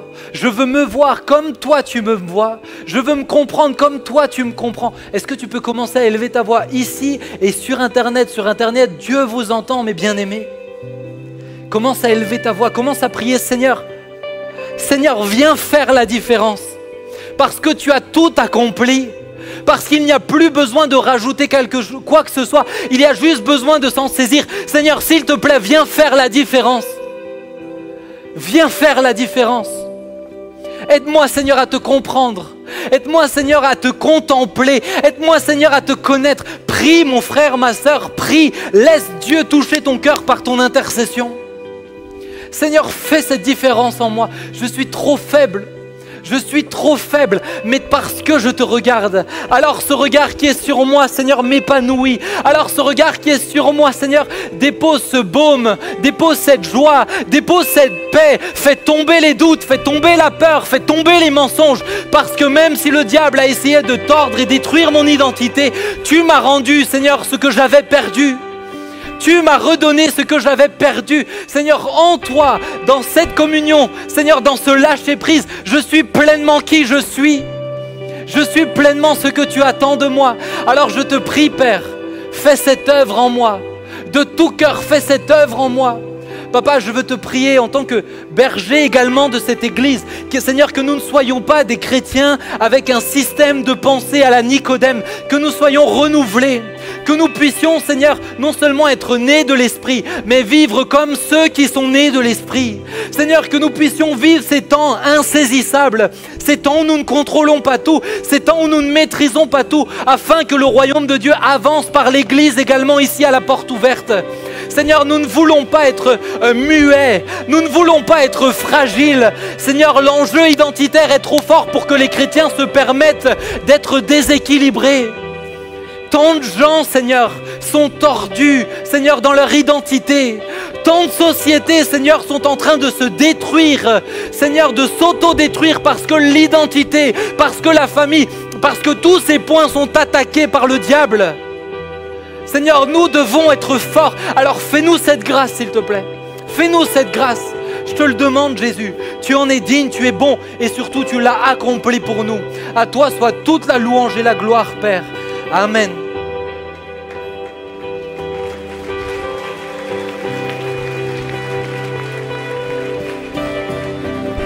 Qui suis-je pour que le roi des cieux m'ouvre ses bras? Perdu mais trouvé par sa grâce, l'amour pour moi, son amour pour moi, m'a libéré, ma est payée, je suis enfant de Dieu, je suis à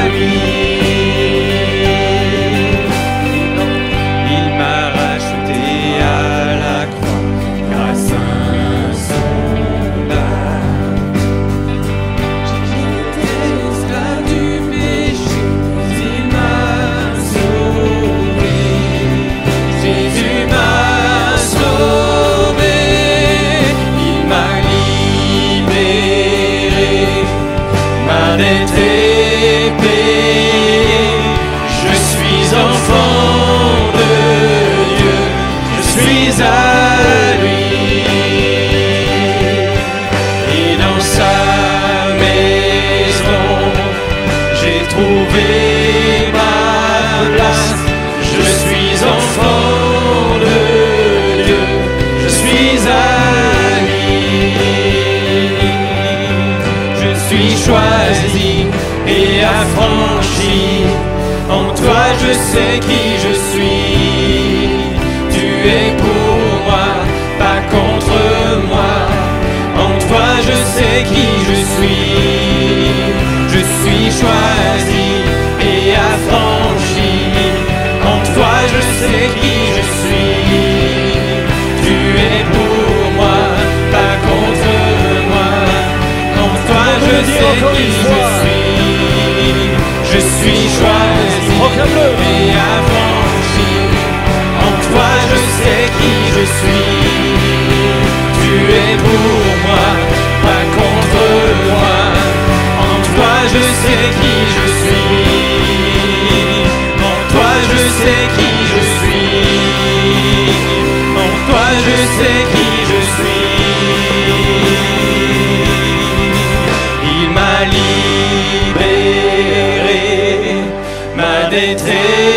payée. Je suis enfant de Dieu, je suis à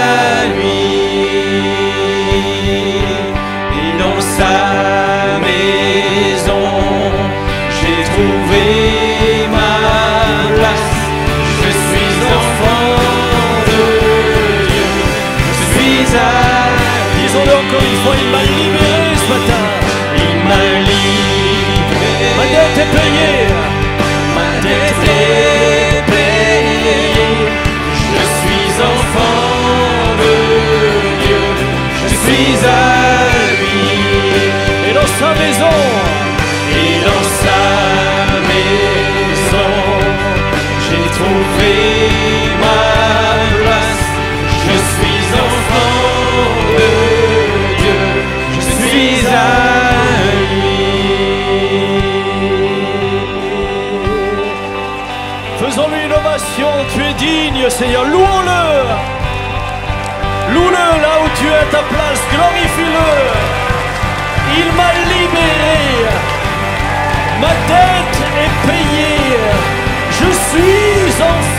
Dieu. Et même si parfois je tombe, je suis encore son enfant. Et si parfois j'ai chuté, il me relève et je demeure son enfant. Et je vais de progrès en progrès et de victoire en victoire. Je deviens semblable à celui qui est mon maître. Mon identité, c'est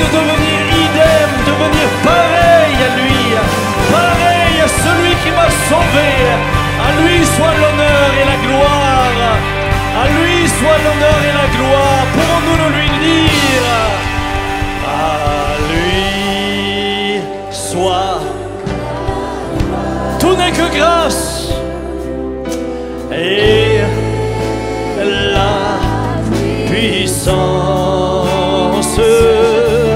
À lui soit la gloire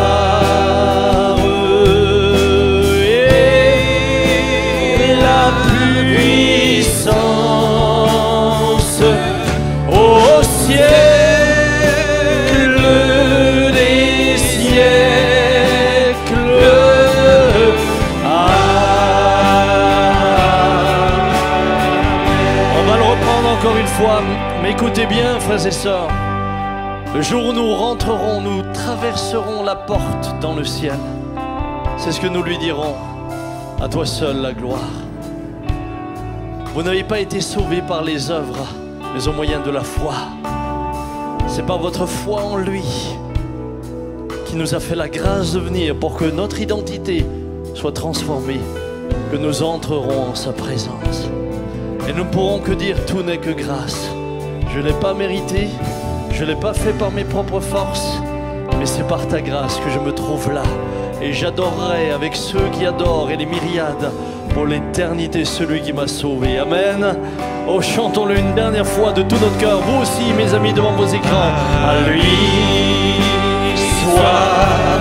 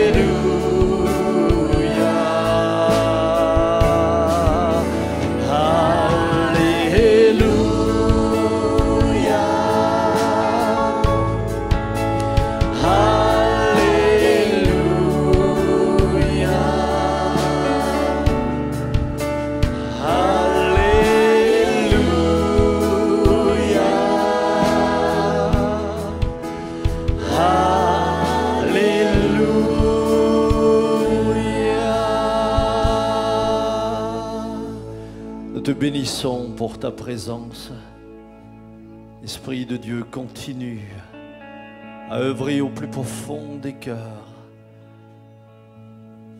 Comme nous ne pouvons mettre le vent dans une boîte, nous ne voulons pas, Esprit Saint, chercher à te mettre là où tu n'iras jamais, mais nous voulons nous laisser porter par toi. Et Seigneur, comme Ézéchiel au bord de ce fleuve, nous ne voulons pas avoir de l'eau jusqu'aux chevilles ou jusqu'aux genoux ou encore jusqu'à la taille. Nous voulons nous laisser emporter par le fleuve et nous irons là où le fleuve nous emmènera. Rendons gloire au Seigneur, rendons-lui la gloire à lui. C'est tellement beau d'être en sa présence, tellement beau, tellement beau. Et que le Seigneur bénisse également tous les vacanciers qui sont là. Soyez richement bénis, profitez également de vos vacances et du soleil alsacien qui tombe en gouttes.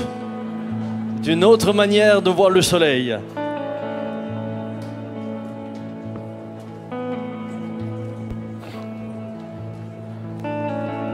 Bonjour les amis internautes, j'espère que vous allez bien, que vous avez passé un bon moment dans la présence de Dieu.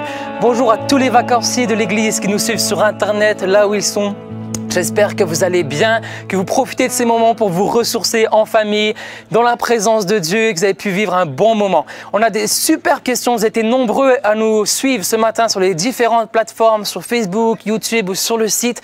On a notamment des questions sur le fait de lâcher prise et faire des efforts. Cette notion, je pense qu'elle a interpellé plusieurs personnes. On va y revenir tout de suite. On se retrouve, restez connectés, restez avec nous, avec l'invité, Pasteur Benjamin. À tout de suite après le générique.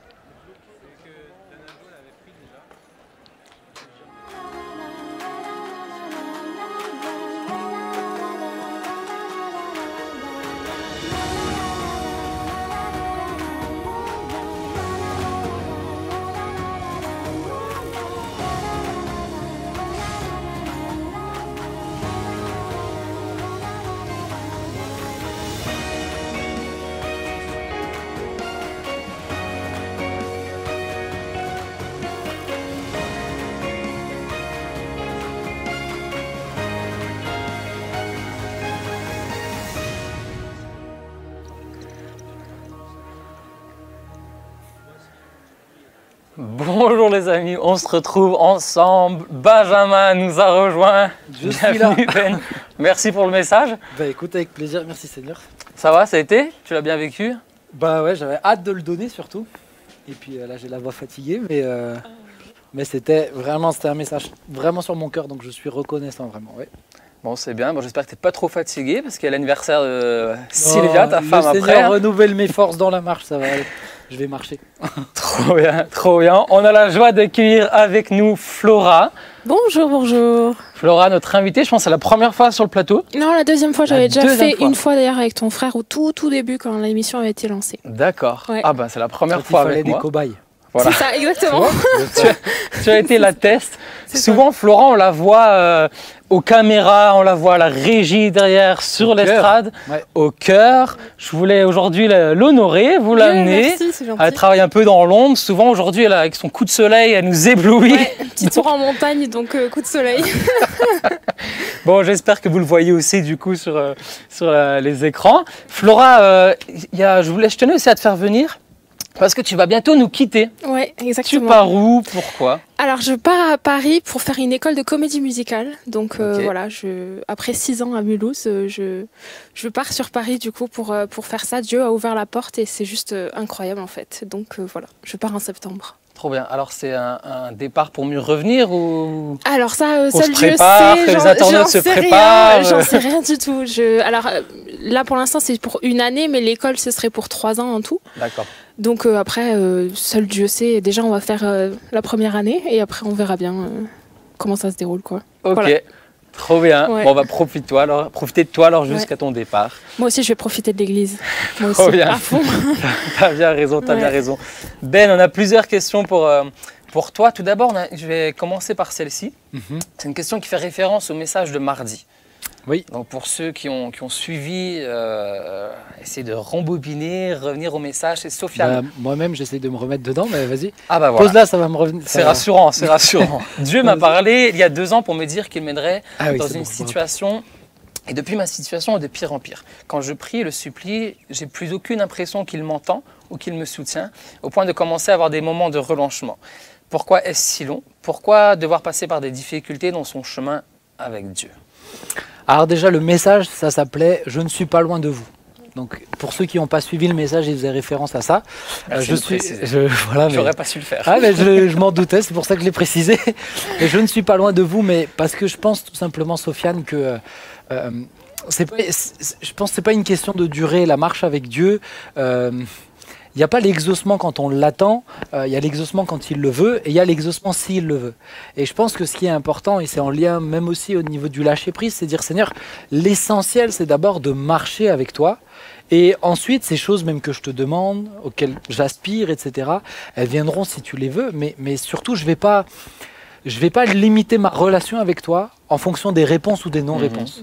Et le- c'est peut-être là le défi, c'est que des fois, on a tellement envie que ça vienne, que, euh, et ça peut partir d'un bon sentiment, de quelque chose de légitime, mais que finalement, toute notre relation avec Dieu se conditionne à ça, et, et, et- et avec du temps, bah, si Dieu ne répond pas, c'est « Mais Seigneur, est-ce que tu m'as abandonné? Est-ce que ceci, cela ?» Non, Dieu est toujours près de nous, mais c'est par contre à nous de veiller à ce que euh, bah, toutes ces choses-là n'empiètent pas sur la communion simple avant de Mhm. recevoir quelque chose. Yes. Bon, Sofiane, j'espère que ça a répondu Sofiane. à, à ta question et je, te- je t'encourage à continuer à persévérer en tout cas. Euh, on va tout de suite rentrer donc dans le vif du sujet par rapport au message de ce matin. Je me remets dedans. Non, on a deux. Tu t'en souviens encore bon, c'est bon. Parce que celui-là, on l'a écouté. Tu l'as écouté, Flora, toi? Oui, je l'ai écouté. Bien. Pas entièrement, mais Oh oui. Mais tu Non, mais reste alors, à la fin. Je Non, non, non, mais Non. pour dire, il l'avait déjà fait à la jeunesse, donc j'ai eu le temps Non, de. non, non, non, non, si t'as non. utilisé cet exemple. J'ai utilisé une image. Ouais, certainement. Ah, la Euh, même image du ouais, coup ouais, Ah, ouais, pardon mais- alors, désolé. peut- Merci. On a Catherine euh, et une autre internaute sur YouTube qui se pose cette question. Il y a d'abord, tu as dit qu'il y a d'abord l'esprit, l'âme et le corps, et on entend souvent des gens euh, dire prier corps, âme, esprit. Catherine précise, un rabbin donne cet ordre corps, esprit et âme. Est-ce qu'il y a des différences entre les deux ordres Euh, S'il y en a une ou plusieurs, quelles sont-elles? Ben, alors déjà pour moi, le, alors déjà le le- la difficulté c'est qu'on parle de, quelque chose qui est immatériel. Et donc euh, on peut écouter euh, Watchmani qui dira telle chose, un rabbin qui dira telle chose. Bon, c'est des choses qui, c'est schématique. Mais c'est ce que j'ai dit euh, au préambule, c'est que l'être, la création de Dieu, elle est beaucoup plus complexe que juste faire un schéma en trois parties. Il y a des choses qui, qui, communiquent entre elles, entre l'âme et l'esprit. Des fois, il y a des choses qui sont beaucoup plus complexes. Maintenant, ce qui est sûr, c'est que nous avons reçu un esprit et nous sommes en communion avec Dieu dans cet esprit. Euh, c'est cet esprit-là, en fait, qui a été rendu vivant dès le moment où le voile est tombé de nos yeux, dès le moment où le Saint-Esprit vient habiter en nous. Avant, on n'était pas en communion avec Dieu. Ensuite, il y a l'âme, l'être intérieur, notre façon de penser, notre, euh, euh, ce qu'on appellerait l'intellect, nos émotions, etc. Et puis, il y a le corps, notre interaction avec les autres. Moi, ce que je crois, c'est que l'équilibre parfait, et donc l'équilibre identitaire, il se trouve dans le fait qu'on est pleinement en communion avec Dieu et que ça Mhm. peut influencer tout le reste. Yes. Donc, euh, je dirais de base, alors je dirais esprit, âme et corps, mais je suis pas là pour mettre un classement. Dieu nous a fait esprit, âme et corps, et les trois sont extrêmement importants. Mhm. Le corps est extrêmement important dans la Bible. Euh, dans le Nouveau Testament, on voit qu'il y a une emphase particulière, même face à certains péchés, euh, où Dieu en parle comme une abomination, mais parce Mhm. que ça touche le corps, un aspect de l'être de la création de Dieu. C'est euh, les trois sont extrêmement importants. Il n'y en a pas un moins important que les autres, mais il faut qu'il soit. euh, moi, je dis, je dis souvent, l'âme, c'est le pivot entre l'esprit et le corps. C'est-à-dire que dans l'esprit, on peut recevoir des choses et, et ça parle à nos pensées, ça parle à nos décisions, et puis, et puis ensuite, on passe à l'action. Ça part Mhm. dans nos choix et dans ce qu'on va communiquer aux autres et, et tout simplement qui on est devant les autres. Quoi. Ouais. Et je, je pense pas que si tu pries corps, âme, esprit ou esprit, âme, corps, ça va mieux marcher que. Oh bah déjà, je dis jamais ces phrases-là. C'est pas une. Voilà, mais beaucoup- les internautes se posent la question quand justement ils prient ou ils entendent prier. Je Est-ce pense pas que ce soit déjà de base une formule. Ah bah non, euh, non, mais comme, comme tout le reste, c'est pas un mantra. Et puis, euh, dès le moment où vous êtes sincère et que vous cherchez le vrai Dieu qui parle à votre esprit et à tout votre être, Ouais. bah moi je crois qu'il répond, euh, voilà. Ouais. Je pense pas qu'il nous mette une mauvaise note sur ce genre de Mmh, choses. complètement, complètement. On a tout un bloc de questions là, qui se regroupe pas mal sur cette notion de faire des efforts. et en même temps de lâcher prise. Euh, beaucoup se sont posé les questions, notamment Flora, on y reviendra après, Flora. Euh, J'ai Sabrina qui dit, Pasteur Benjamin, tu dis d'arrêter de faire des efforts. Mais comment on fait alors pour s'améliorer, surtout dans les situations où on est addict à quelque chose? Faut-il donc plus se battre pour essayer de résister à cette addiction, même si presque à chaque fois on retombe? Comment on fait? Ben, c'est une bonne question et moi je répondrais simplement euh, l'effort c'est très humain. Euh, l'effort c'est euh, là de tout temps et quand je prends la Bible, je vois pas la notion d'effort. Je vois Mhm. pas la notion de par mes propres forces. Il y a la notion de sanctification. Et dans la sanctification, il y a ce que ce, ce qu'on pourrait appeler des choses qui doivent mourir, les œuvres de la, de la chair, etc., le péché, les addictions, et les choses qui doivent vivre, ce qu'on pourrait appeler, hum, alors c'est des mots un peu plus euh, compliqués, mais mortification et vivification, faire vivre des choses, aimer Dieu, le chercher de tout notre cœur, devenir passionné pour le royaume de Dieu, et mortification, faire mourir des choses, les œuvres de la chair, les péchés, les mauvais raisonnements, etc., tout ce qui nous attire vers ce monde, et que le diable utilise. Mais dans tout ça, c'est le Saint-Esprit qui le fait. Mhm. Celui qui nous sanctifie, c'est le Saint-Esprit. Et pourquoi je dis il faut arrêter de faire des efforts? Parce que trop souvent les efforts mettent l'emphase sur nous-mêmes. Si pour vous faire l'effort, ça veut dire chercher Dieu, ah bah alors là, continuez. Alors là, continuez de le chercher, continuez à lui faire confiance. Mais si faire des efforts, c'est vous donner, de- c'est vous donner de la peine par vos propres forces, arrêtez, ça sert à rien. Ça change rien d'essayer de se battre contre le péché, contre une addiction, quand vous ne dépendez que de vos efforts. Et souvent, en fait, on met le combat spirituel à ce niveau-là. C'est un combat spirituel, il faut que je me donne de la peine, etc. Pour moi, le combat spirituel, il se trouve à un autre endroit. Il se trouve dans le fait que je cher- de, de me battre pour continuer de chercher Dieu et ne pas être décentré de ça. C'est un peu ce que je disais à Sofiane. Euh, Il y a des exaucements où on, on espère que que Dieu euh, euh, vienne et on comprend pas, tu m'as abandonné, etc. Mais il y a d'autres moments où c'est le péché qui nous, qui nous décentre en fait de ce qui est l'essentiel, Dieu. Moi, je me rappelle, j'ai eu une phase où j'avais une difficulté euh, euh, avec un péché et je priais et, et- et- et je me rendais compte qu'au bout d'un moment, à chaque fois que je venais dans la présence de Dieu, c'était ou pour lui demander pardon, ou lui demander de m'aider, mais, mais je me rendais compte que j'étais plus que centré sur ça.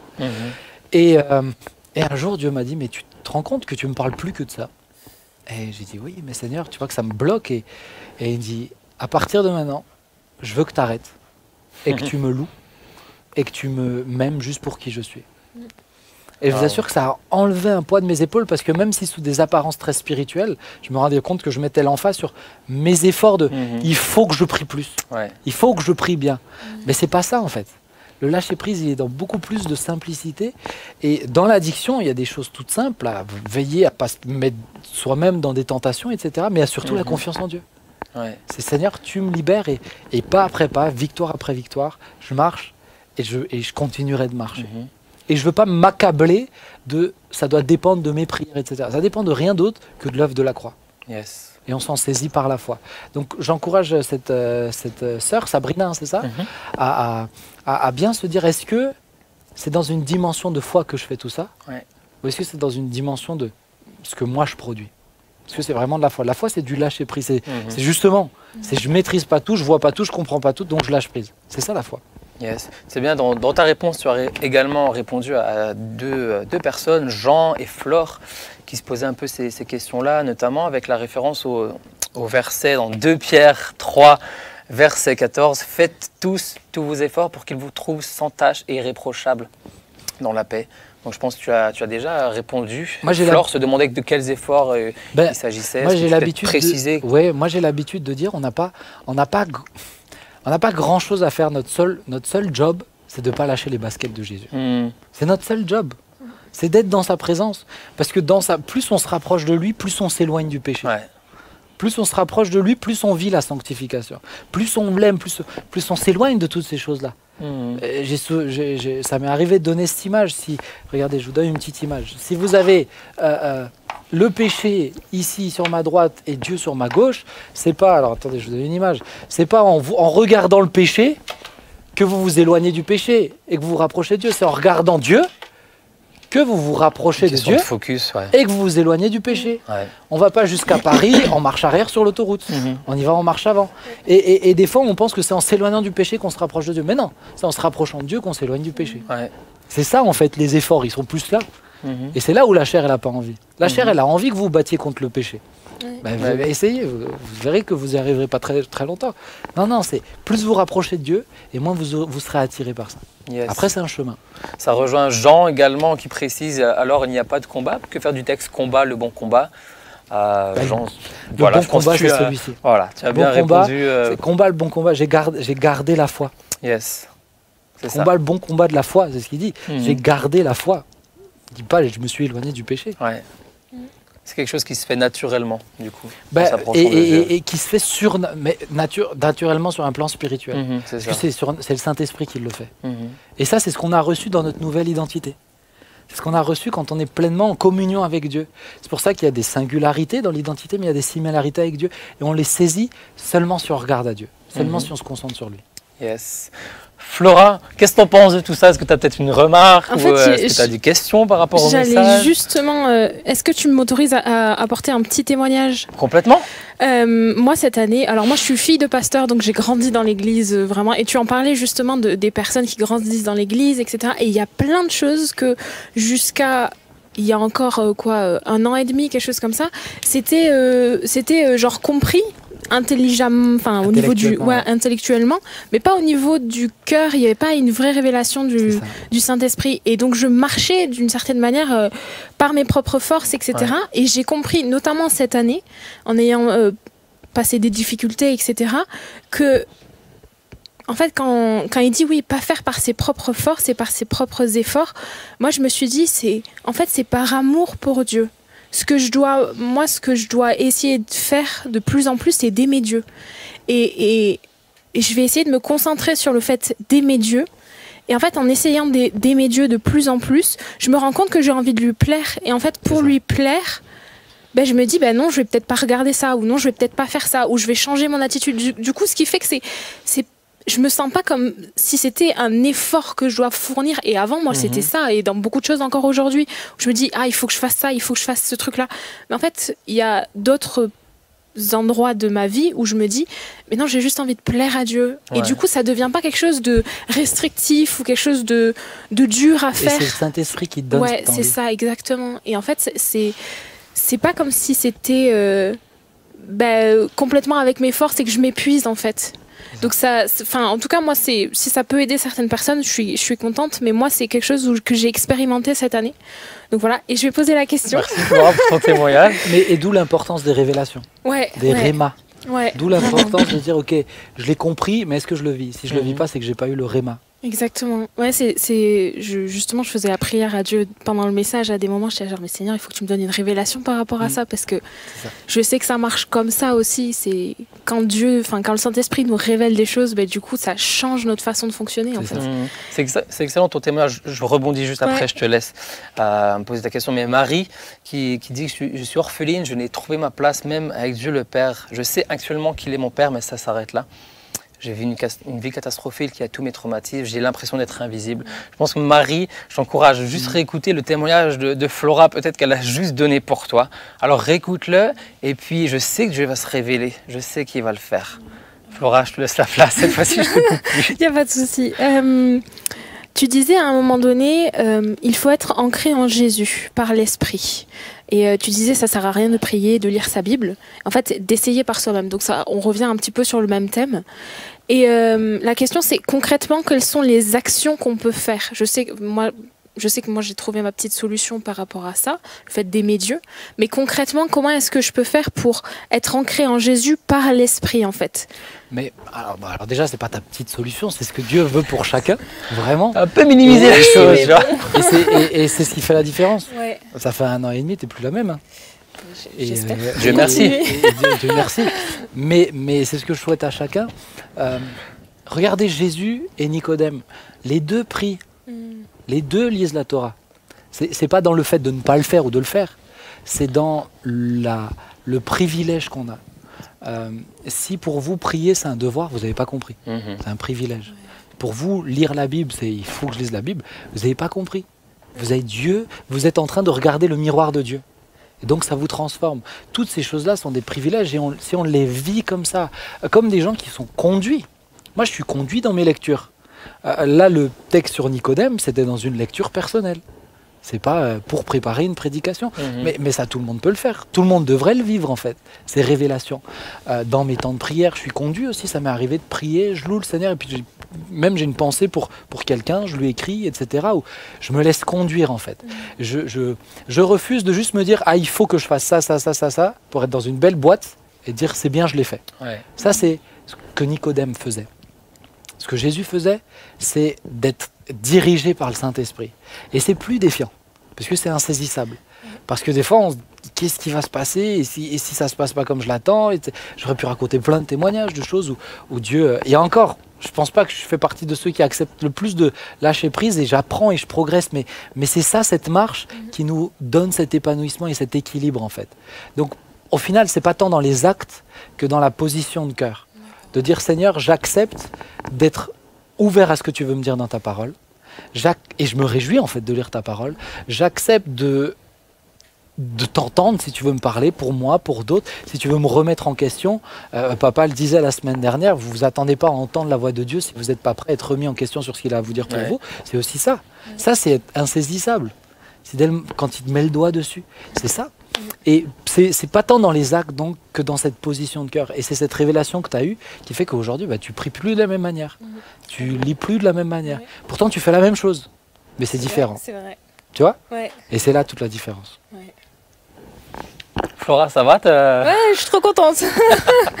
non, non, Ça je trouve t'a ça éclairé super intéressant. T'as Mais- illuminé, on dirait. Oh là là, j'en peux plus. Et il est terrible.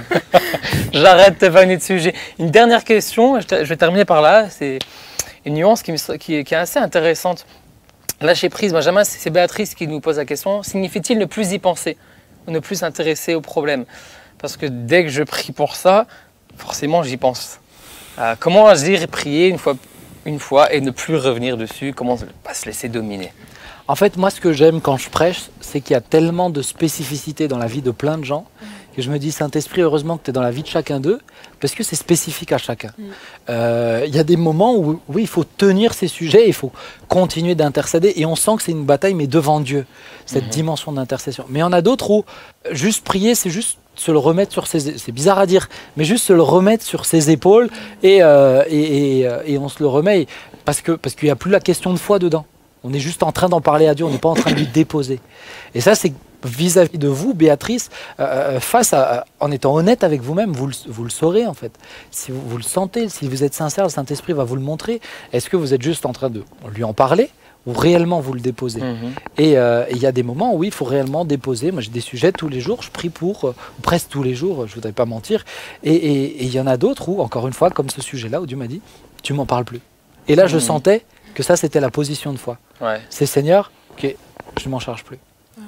Et il y a, il y, a des- il y, a des- il y a des sujets ou des personnes pour qui on parle, on dit Seigneur, maintenant je te l'ai déchargé, je m'en recharge plus. Et je te loue pour ce que tu vas faire. Je te loue pour ce que tu donnes, pour, je te loue pour ce que tu vas encore agir. Et, et on voit même que quand Jésus il priait, il y avait cette, ce côté se décharger sur Dieu qui était impressionnant. Regardez, Ouais. euh, regardez Lazare. Lazare, quand il prie, il dit Seigneur, je te loue de ce que tu entends toujours mes prières. Je dis pas ça parce que j'en doute, je dis ça pour que tous ceux qui m'écoutent le sachent. Mhm. Et je te loue que tu as, parce que tu as déjà répondu à ma prière. Il est, un- il est- Ouais, dans sa position de foi, il est impressionnant, il s'en Mm. décharge complètement. Tu as déjà assuré. répondu. Il est, et, et c'est cette, dimension de foi en fait qui nous permet d'être tout le temps en communion avec Dieu et donc qui nous permet d'être équilibré dans notre vie. Et, et si vous êtes en dehors de cette dimension de foi, vous pouvez être ou dans de la religiosité, dans des efforts, dans des choses là, ou, ou- ou tout simplement plus près de Dieu. Mais quand vous êtes dans cette position de foi, dans tous vos défis, vos questionnements, etc., alors vous êtes en communion avec Dieu. Et alors, cet équilibre corps, âme et esprit, cette chose-là, vous le sentez. Moi, je sais, aujourd'hui, je sais quand, quand je suis là où Dieu le veut et là où Dieu le veut pas. Ouais. Je sais quand je prie bien et quand je prie pas bien. Je le sais. Mais parce que je suis dans cette position de foi. Je sais quand c'est pas de la Mhm. foi, quand c'est de la peur qui me fait prier. Ah oui. Je sais quand c'est des doutes, quand c'est juste euh, bon, j'ai besoin d'en parler, euh, mais comme si j'en parlais à quelqu'un. Non, mais c'est pas, c'est beaucoup plus riche que ça en fait. Ouais. Et ça, c'est, c'est ça qui est beau, et c'est ça qui fait qu'on marche une vie euh, euh, épanouissante, Mhm. une vie où on sait qu'on est utile pour le royaume de Dieu. Je vous donne un exemple, un, un petit témoignage. Mais euh, hier, je préparais, je le disais, je, je m'entraînais à prêcher le, le texte, et je disais, ah Seigneur, j'aurais besoin que tu m'encourages là. Et là, une pensée dans mon cœur, euh, va voir tes mails. Ah, Dieu ne me dit pas souvent d'aller voir, d'aller voir mes mails, mais même jamais. Et là, je regarde mes mails et je tombe sur un témoignage de quelqu'un. J'ai prêché dans une église il y a quelques temps et cette personne a été touchée par la prédication et guérie suite à un temps de prière. Je dis, ah, c'est-à-dire ça m'a fait vraiment du bien. Et bah, ça, c'est la marche par la foi. C'est, je l'ai entendu, ça m'a conforté et du coup, j'ai prêché avec d'autant plus d'assurance. Mhm. Et je sais que ce que j'ai fait ce matin, ça lui fait plaisir. Je suis pas en train de me dire est-ce que j'ai bien dit ceci, bien dit. Non, j'ai dit ce que j'ai fait. J'ai fait ce que j'ai dit et, et- et- et je l'ai fait simplement, peut-être avec des imperfections, Mhm. mais je suis bien dans mes baskets parce que je sais que devant lui là, bah, ça lui a fait plaisir, tout simplement. Complètement. Et en même temps, la vie chrétienne, c'est un cheminement. Et, et- et la question d'identité, c'est un cheminement. C'est ça. C'est important de comprendre que dans l'identité, tout n'est pas figé. Mhm. On pense souvent que l'identité, c'est que des trucs figés. Non, même les philosophes parleraient ça. Ils parleraient de mêmeté et d'ipséité. Je voulais pas en parler ce matin, mais mais il y a des Tu choses nous as qui- perdu là. Ouais, Ah, j'avoue. ouais, ouais. Ipséité et mêmeté, si vous voulez vous renseigner. Mais mais il y a des choses qui évoluent. Euh, on est toujours les mêmes. Pierre, jusqu'à tes 80 ans, tu seras toujours le même, mais tu seras différent. Pourtant, tu seras toujours le même. Ma femme va être contente. Et ta femme va être contente. Et nous tous autour. mais, mais, euh, mais tu vois, il y a des choses qui sont fixes et il y a des choses qui progressent. Mhm. Et moi, il y a des choses qui sont fixes et ça me permet de construire. Je sais qui je suis, je m'aime comme je suis. Et il y a des choses qui progressent. Il y a du caractère qui évolue, etc. Mais toute cette question identitaire, c'est le Saint-Esprit, si on lui laisse, si on lâche prise, qui l'apprend et qui nous amène là on doit être. Et je trouve que c'est ce qui est enthousiasmant. C'est ça. C'est ce qui est Relisez le dernier texte que j'ai lu sur un Corin- de, de ces deux Corinthiens, si je me trompe pas, trois. Mais, mais c'est ça, c'est le voile est tombé Ouais, et par son, nous tous qui reflétons comme dans un miroir, nous sommes transformés De de gloire en gloire. Ouais. On voit qu'il y a une progression et c'est ça que Dieu veut pour nous. Ok, super. Merci. Merci à tous les internautes Avec qui nous plaisir. ont posé ces questions. Merci Benjamin pour, euh, pour ton message. Merci de t'être laissé inspirer par ce vent insaisissable. Amen. Merci Flora. Avec plaisir, c'était vraiment trop génial ce matin. J'ai kiffé. Trop bien. trop bien. Franchement, trop ça veut dire qu'elle a aimé Oui, pour voilà, les plus pardon. enfants. Merci à chacun d'entre vous. Merci de nous suivre tellement fidèlement depuis des années. Que le Seigneur vous bénisse. Continuez de laisser euh, ce message vous parler tout au long de la semaine. Je vous donne rendez-vous mardi soir à 19h30 pour le culte en live et dimanche prochain encore à 9h30. Je vous souhaite une bonne fin de semaine. Soyez bénis. À bientôt. Bye bye.